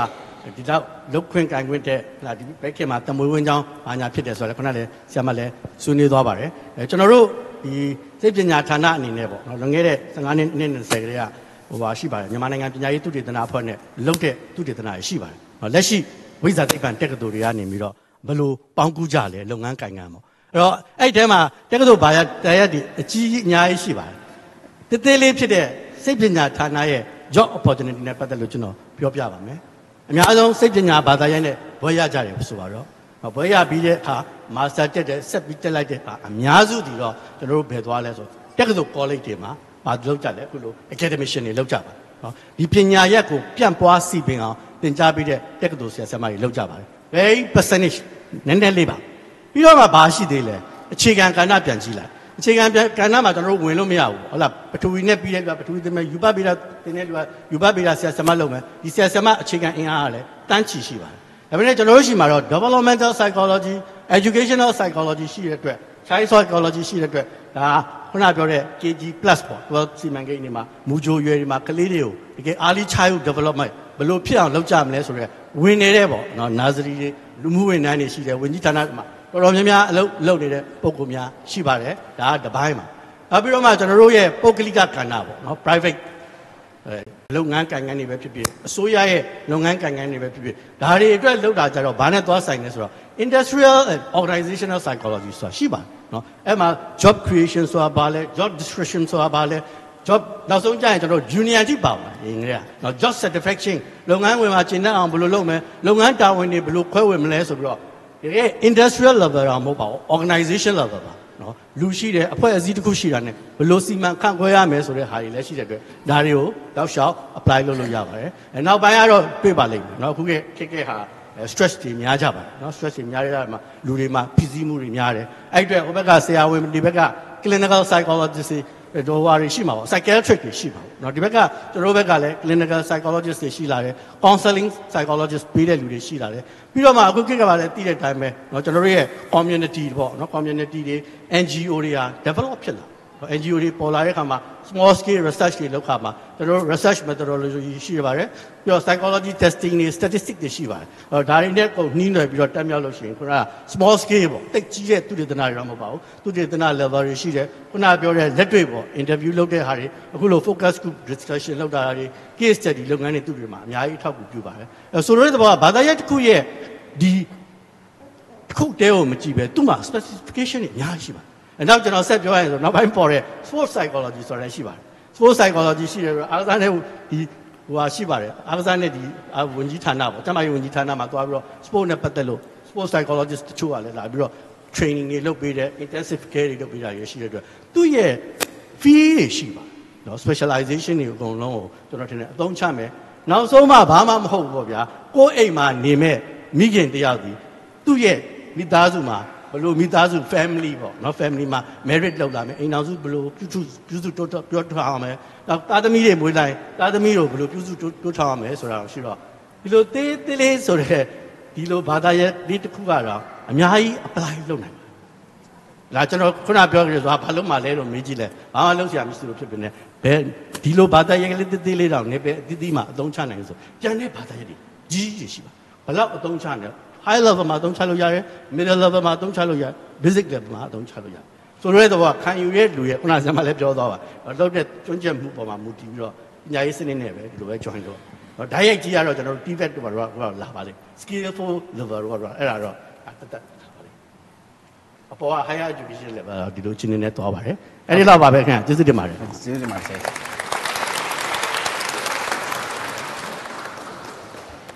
အနည်းဆုံးတော့ ဒီထဲမှာကျွန်တော်ကျွန်တော်ဆိုရင်တကယ်တမ်းကျတော့ကျွန်တော်တကယ်ဖြစ်ချင်တာကတက္ကသိုလ်မှာဆရာဖြစ်ချင်တာကျွန်တော်ပြောတဲ့တက္ကသိုလ် live ကိုကျွန်တော်ကြိုက်တာပေါ့ဆရာကြီးကတော့အများကြီးအားပေးသွားတယ်တက္ကသိုလ်မှာဆရာပြန်လုပ်လို့ရတယ်ဒီထဲမှာဆရာပြန်လုပ်ချင်တဲ့လူတွေဘယ်လောက်များများရှိလဲမသိကျွန်တော်သိချင်တယ်ဆရာ percentage နည်းတယ်လို့ပြောလို့လေအများကြီးရှိရတယ်နော်အဲ့တော့ဆရာကြီးအားရစရာကောင်းပါပါအဲ့တော့ကျွန်တော်ဆရာကြီးဆရာကိုမေးသွားတဲ့မေးခွန်းတစ်ခုရှိပါတယ်အဓိကတော့ဆရာမေးသွားတဲ့ဟာပေါ့လေဘယ်လိုမျိုးခဏလို ပညာရေးဌာနနဲ့ဆရာတို့ဌာနနဲ့ပေါင်းပြီးတော့မှကျောင်းပြီးလို့ရှိရင်အလုပ်ဝင်နိုင်တဲ့ဟာမျိုးပူးပေါင်းဆောင်ရွက်နေတာလောလောဆယ်ရှိလားဆိုတဲ့မေးခွန်းရှိပါတယ်အဲ့ဒီမေးခွန်းနဲ့ပတ်သက်ပြီးတော့မှဆရာဖြေပြီးတော့မှ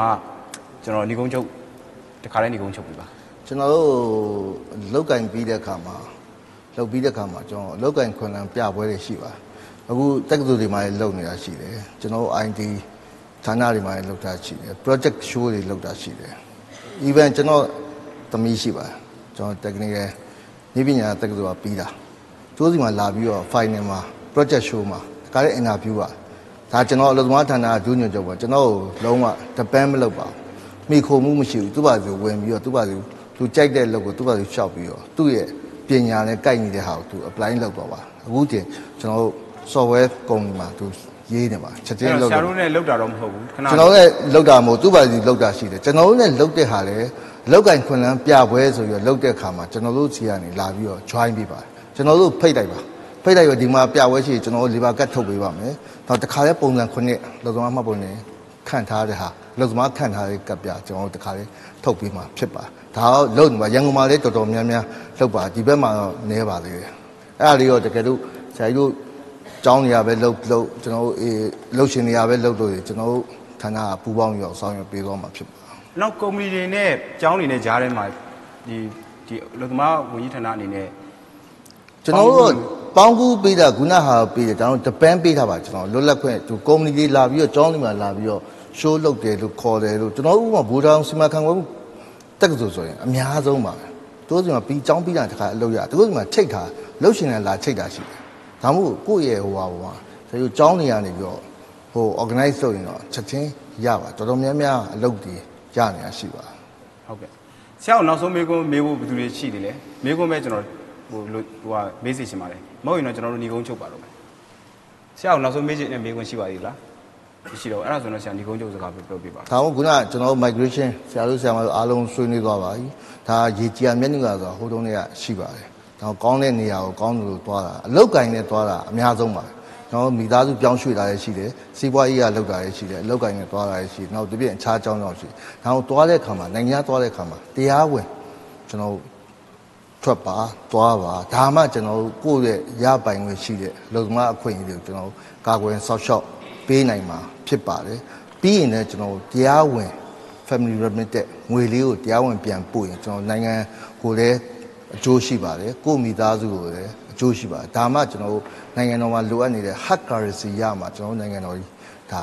တိုးတက်လာမှာအဓိကတော့ဆရာဘန်တွေကနေတွေ့ခိုင်းဘန်တွေကနေဟုတ်ကဲ့ခင်ဗျကျွန်တော်ဟွန်ဒီလို့ခေါ်တဲ့ဟိုဟာတွေဟောနေကတရားမဝင်ငွေလဲမှုကနေပြီးတော့တရားမဝင်ရအောင်မြန်တယ်မြန်လို့အတွက်လွှဲကြတယ်အခုဘန်တွေကကျွန်တော်တို့ သူ့ရဲ့ဟိုဟာအဲ့ဒါဆိုတော့ဆရာရှော့တို့ချကနေပါပြီပြင်ရောက်နေအလုပ်သမားတွေပို့ပြီးတော့အကာအကွယ်ပေးအမှာကာအကွယ်အကာလည်းပေးနိုင်တယ်နောက်ပိုင်းဆိုနိုင်ငံတော်ကလည်းစီစဉ်ပါပါတရားမဝင်လွှဲလိုက်ရင်ဟိုတော့ကျွန်တော်ငယ်တော့ရှိပါကျွန်တော်နိုင်ငံသားသွားတယ်ပတ်စံစုတိုင်းကျွန်တော်ကားဝယ်ခွင့်ရှိတာပါလို့သူ့ရဲ့ intensive ကရလာမှာဖြစ်ပါတယ်ဟုတ်ကဲ့ကျေးဇူးတင်ပါတယ်ကျွန်တော်နောက်ဆုံးကာတွန်းဆရာကိုလှည့်ပေးချင်ပါတယ်ကာတွန်း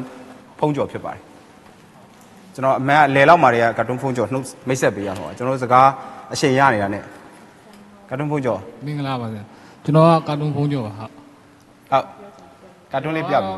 ဒီမှာလေဆွေးနွေးကြတဲ့ထဲမှာတော့ကျွန်တော်အခုလက်ရှိရေးနေတဲ့ရေးထားတာရှိတာဗျာရှုပြောင်းလုပ်သားတွေဘာကြောင့်သွားလာတယ်ဆိုတဲ့အမှာကျွန်တော်အဲ့စက်ဝန်လေးရေးထားတာစက်ဝန်လေးရေးထားဆိုတာဥပမာဆိုကြပါစို့ဗျာလက်ရှိမှာ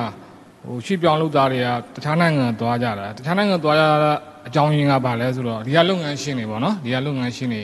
အခြေအနေကတချို့ဆိုရင်လည်းလောက်ခလာစားမတိုးပေးနိုင်တာရှိတယ်အဲလုပ်ငန်းရှင်တွေကဘာကိုညှိုးလဲဆိုတော့ အစိုးရအစိုးရလောက်ကနေဘာညာသိတော့သူတို့မှဟိုညှိုးနှံမှုတွေရင်းနှီးမြှုပ်နှံမှုမခေါ်ပေးနိုင်ဘူးတော့အဲအစိုးရလည်းဘာကိုရည်ညွှန်းလဲဆိုတော့ဥပဒေဥပဒေကြတော့ပါတော့အခြေခံဥပဒေအပါဝင်ဗျာတချို့စီးပွားရေးနဲ့ပတ်သက်တဲ့အမှဆိုအနည်းဆုံးပြောလို့ဆိုရင်တရုတ်နဲ့ပတ်သက်တဲ့ဥပဒေတွေကြာရင်လက်ရှိမှာအစိုးရလည်းမထိန်းသိမ်းနိုင်မထိန်းသိမ်းတာဥပဒေကဘာကိုညွှန်ပြတာဆိုတော့အရင်အစိုးရအရင်အာဏာရှင်အရင်အာဏာရှင်ကလည်းဘာညွှန်ပြတာဆိုတော့ပฏิဘာအဲ့မှာပဲတန်တရားလဲနေဆိုတဲ့ဟာမျိုးပေါ့နော်ချက်လောက်ထောင်ပြလိုက်ပါမြင်အောင်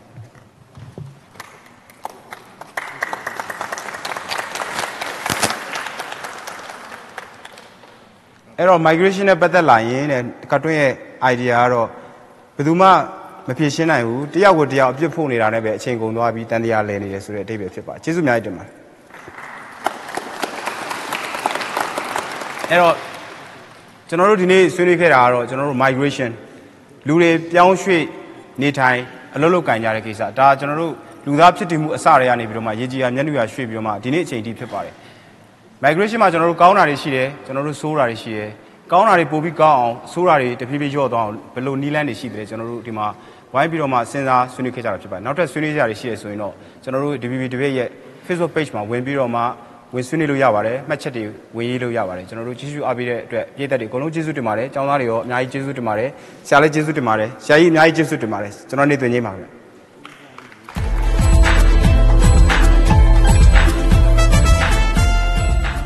တိန်အောင်တပွဲမင်းရေးကျဲမြမပြည်ရဲ့ရှေ့ချုပ်ထွေထွေနိုင်ငံရေးပြဿနာတွေတနတ်ကိုမလွှမ်းမချောင်နဲ့ကျွန်တော်ကန်ရတာဖြစ်တယ်မပြောမပြီးမတီးမမီစီးပွားရေးလူမှုရေးယဉ်ကျေးမှုဆိုင်ရာကိစ္စတွေကိုပွင့်ပွင့်လင်းလင်းဆွေးနွေးနေတဲ့ DBB debate အစီအစဉ်မြမပြည်ရဲ့ပထမဆုံးနဲ့တခုတည်းသောရုပ်မြင်သံကြား debate အစီအစဉ်လူတိုင်းရဲ့ဒီမိုကရေစီအခွင့်အရေးလွတ်လပ်စွာသဘောထားကွဲလွဲခွင့်လွတ်လပ်စွာဆုံးဖြတ်ခွင့်တို့အတွက်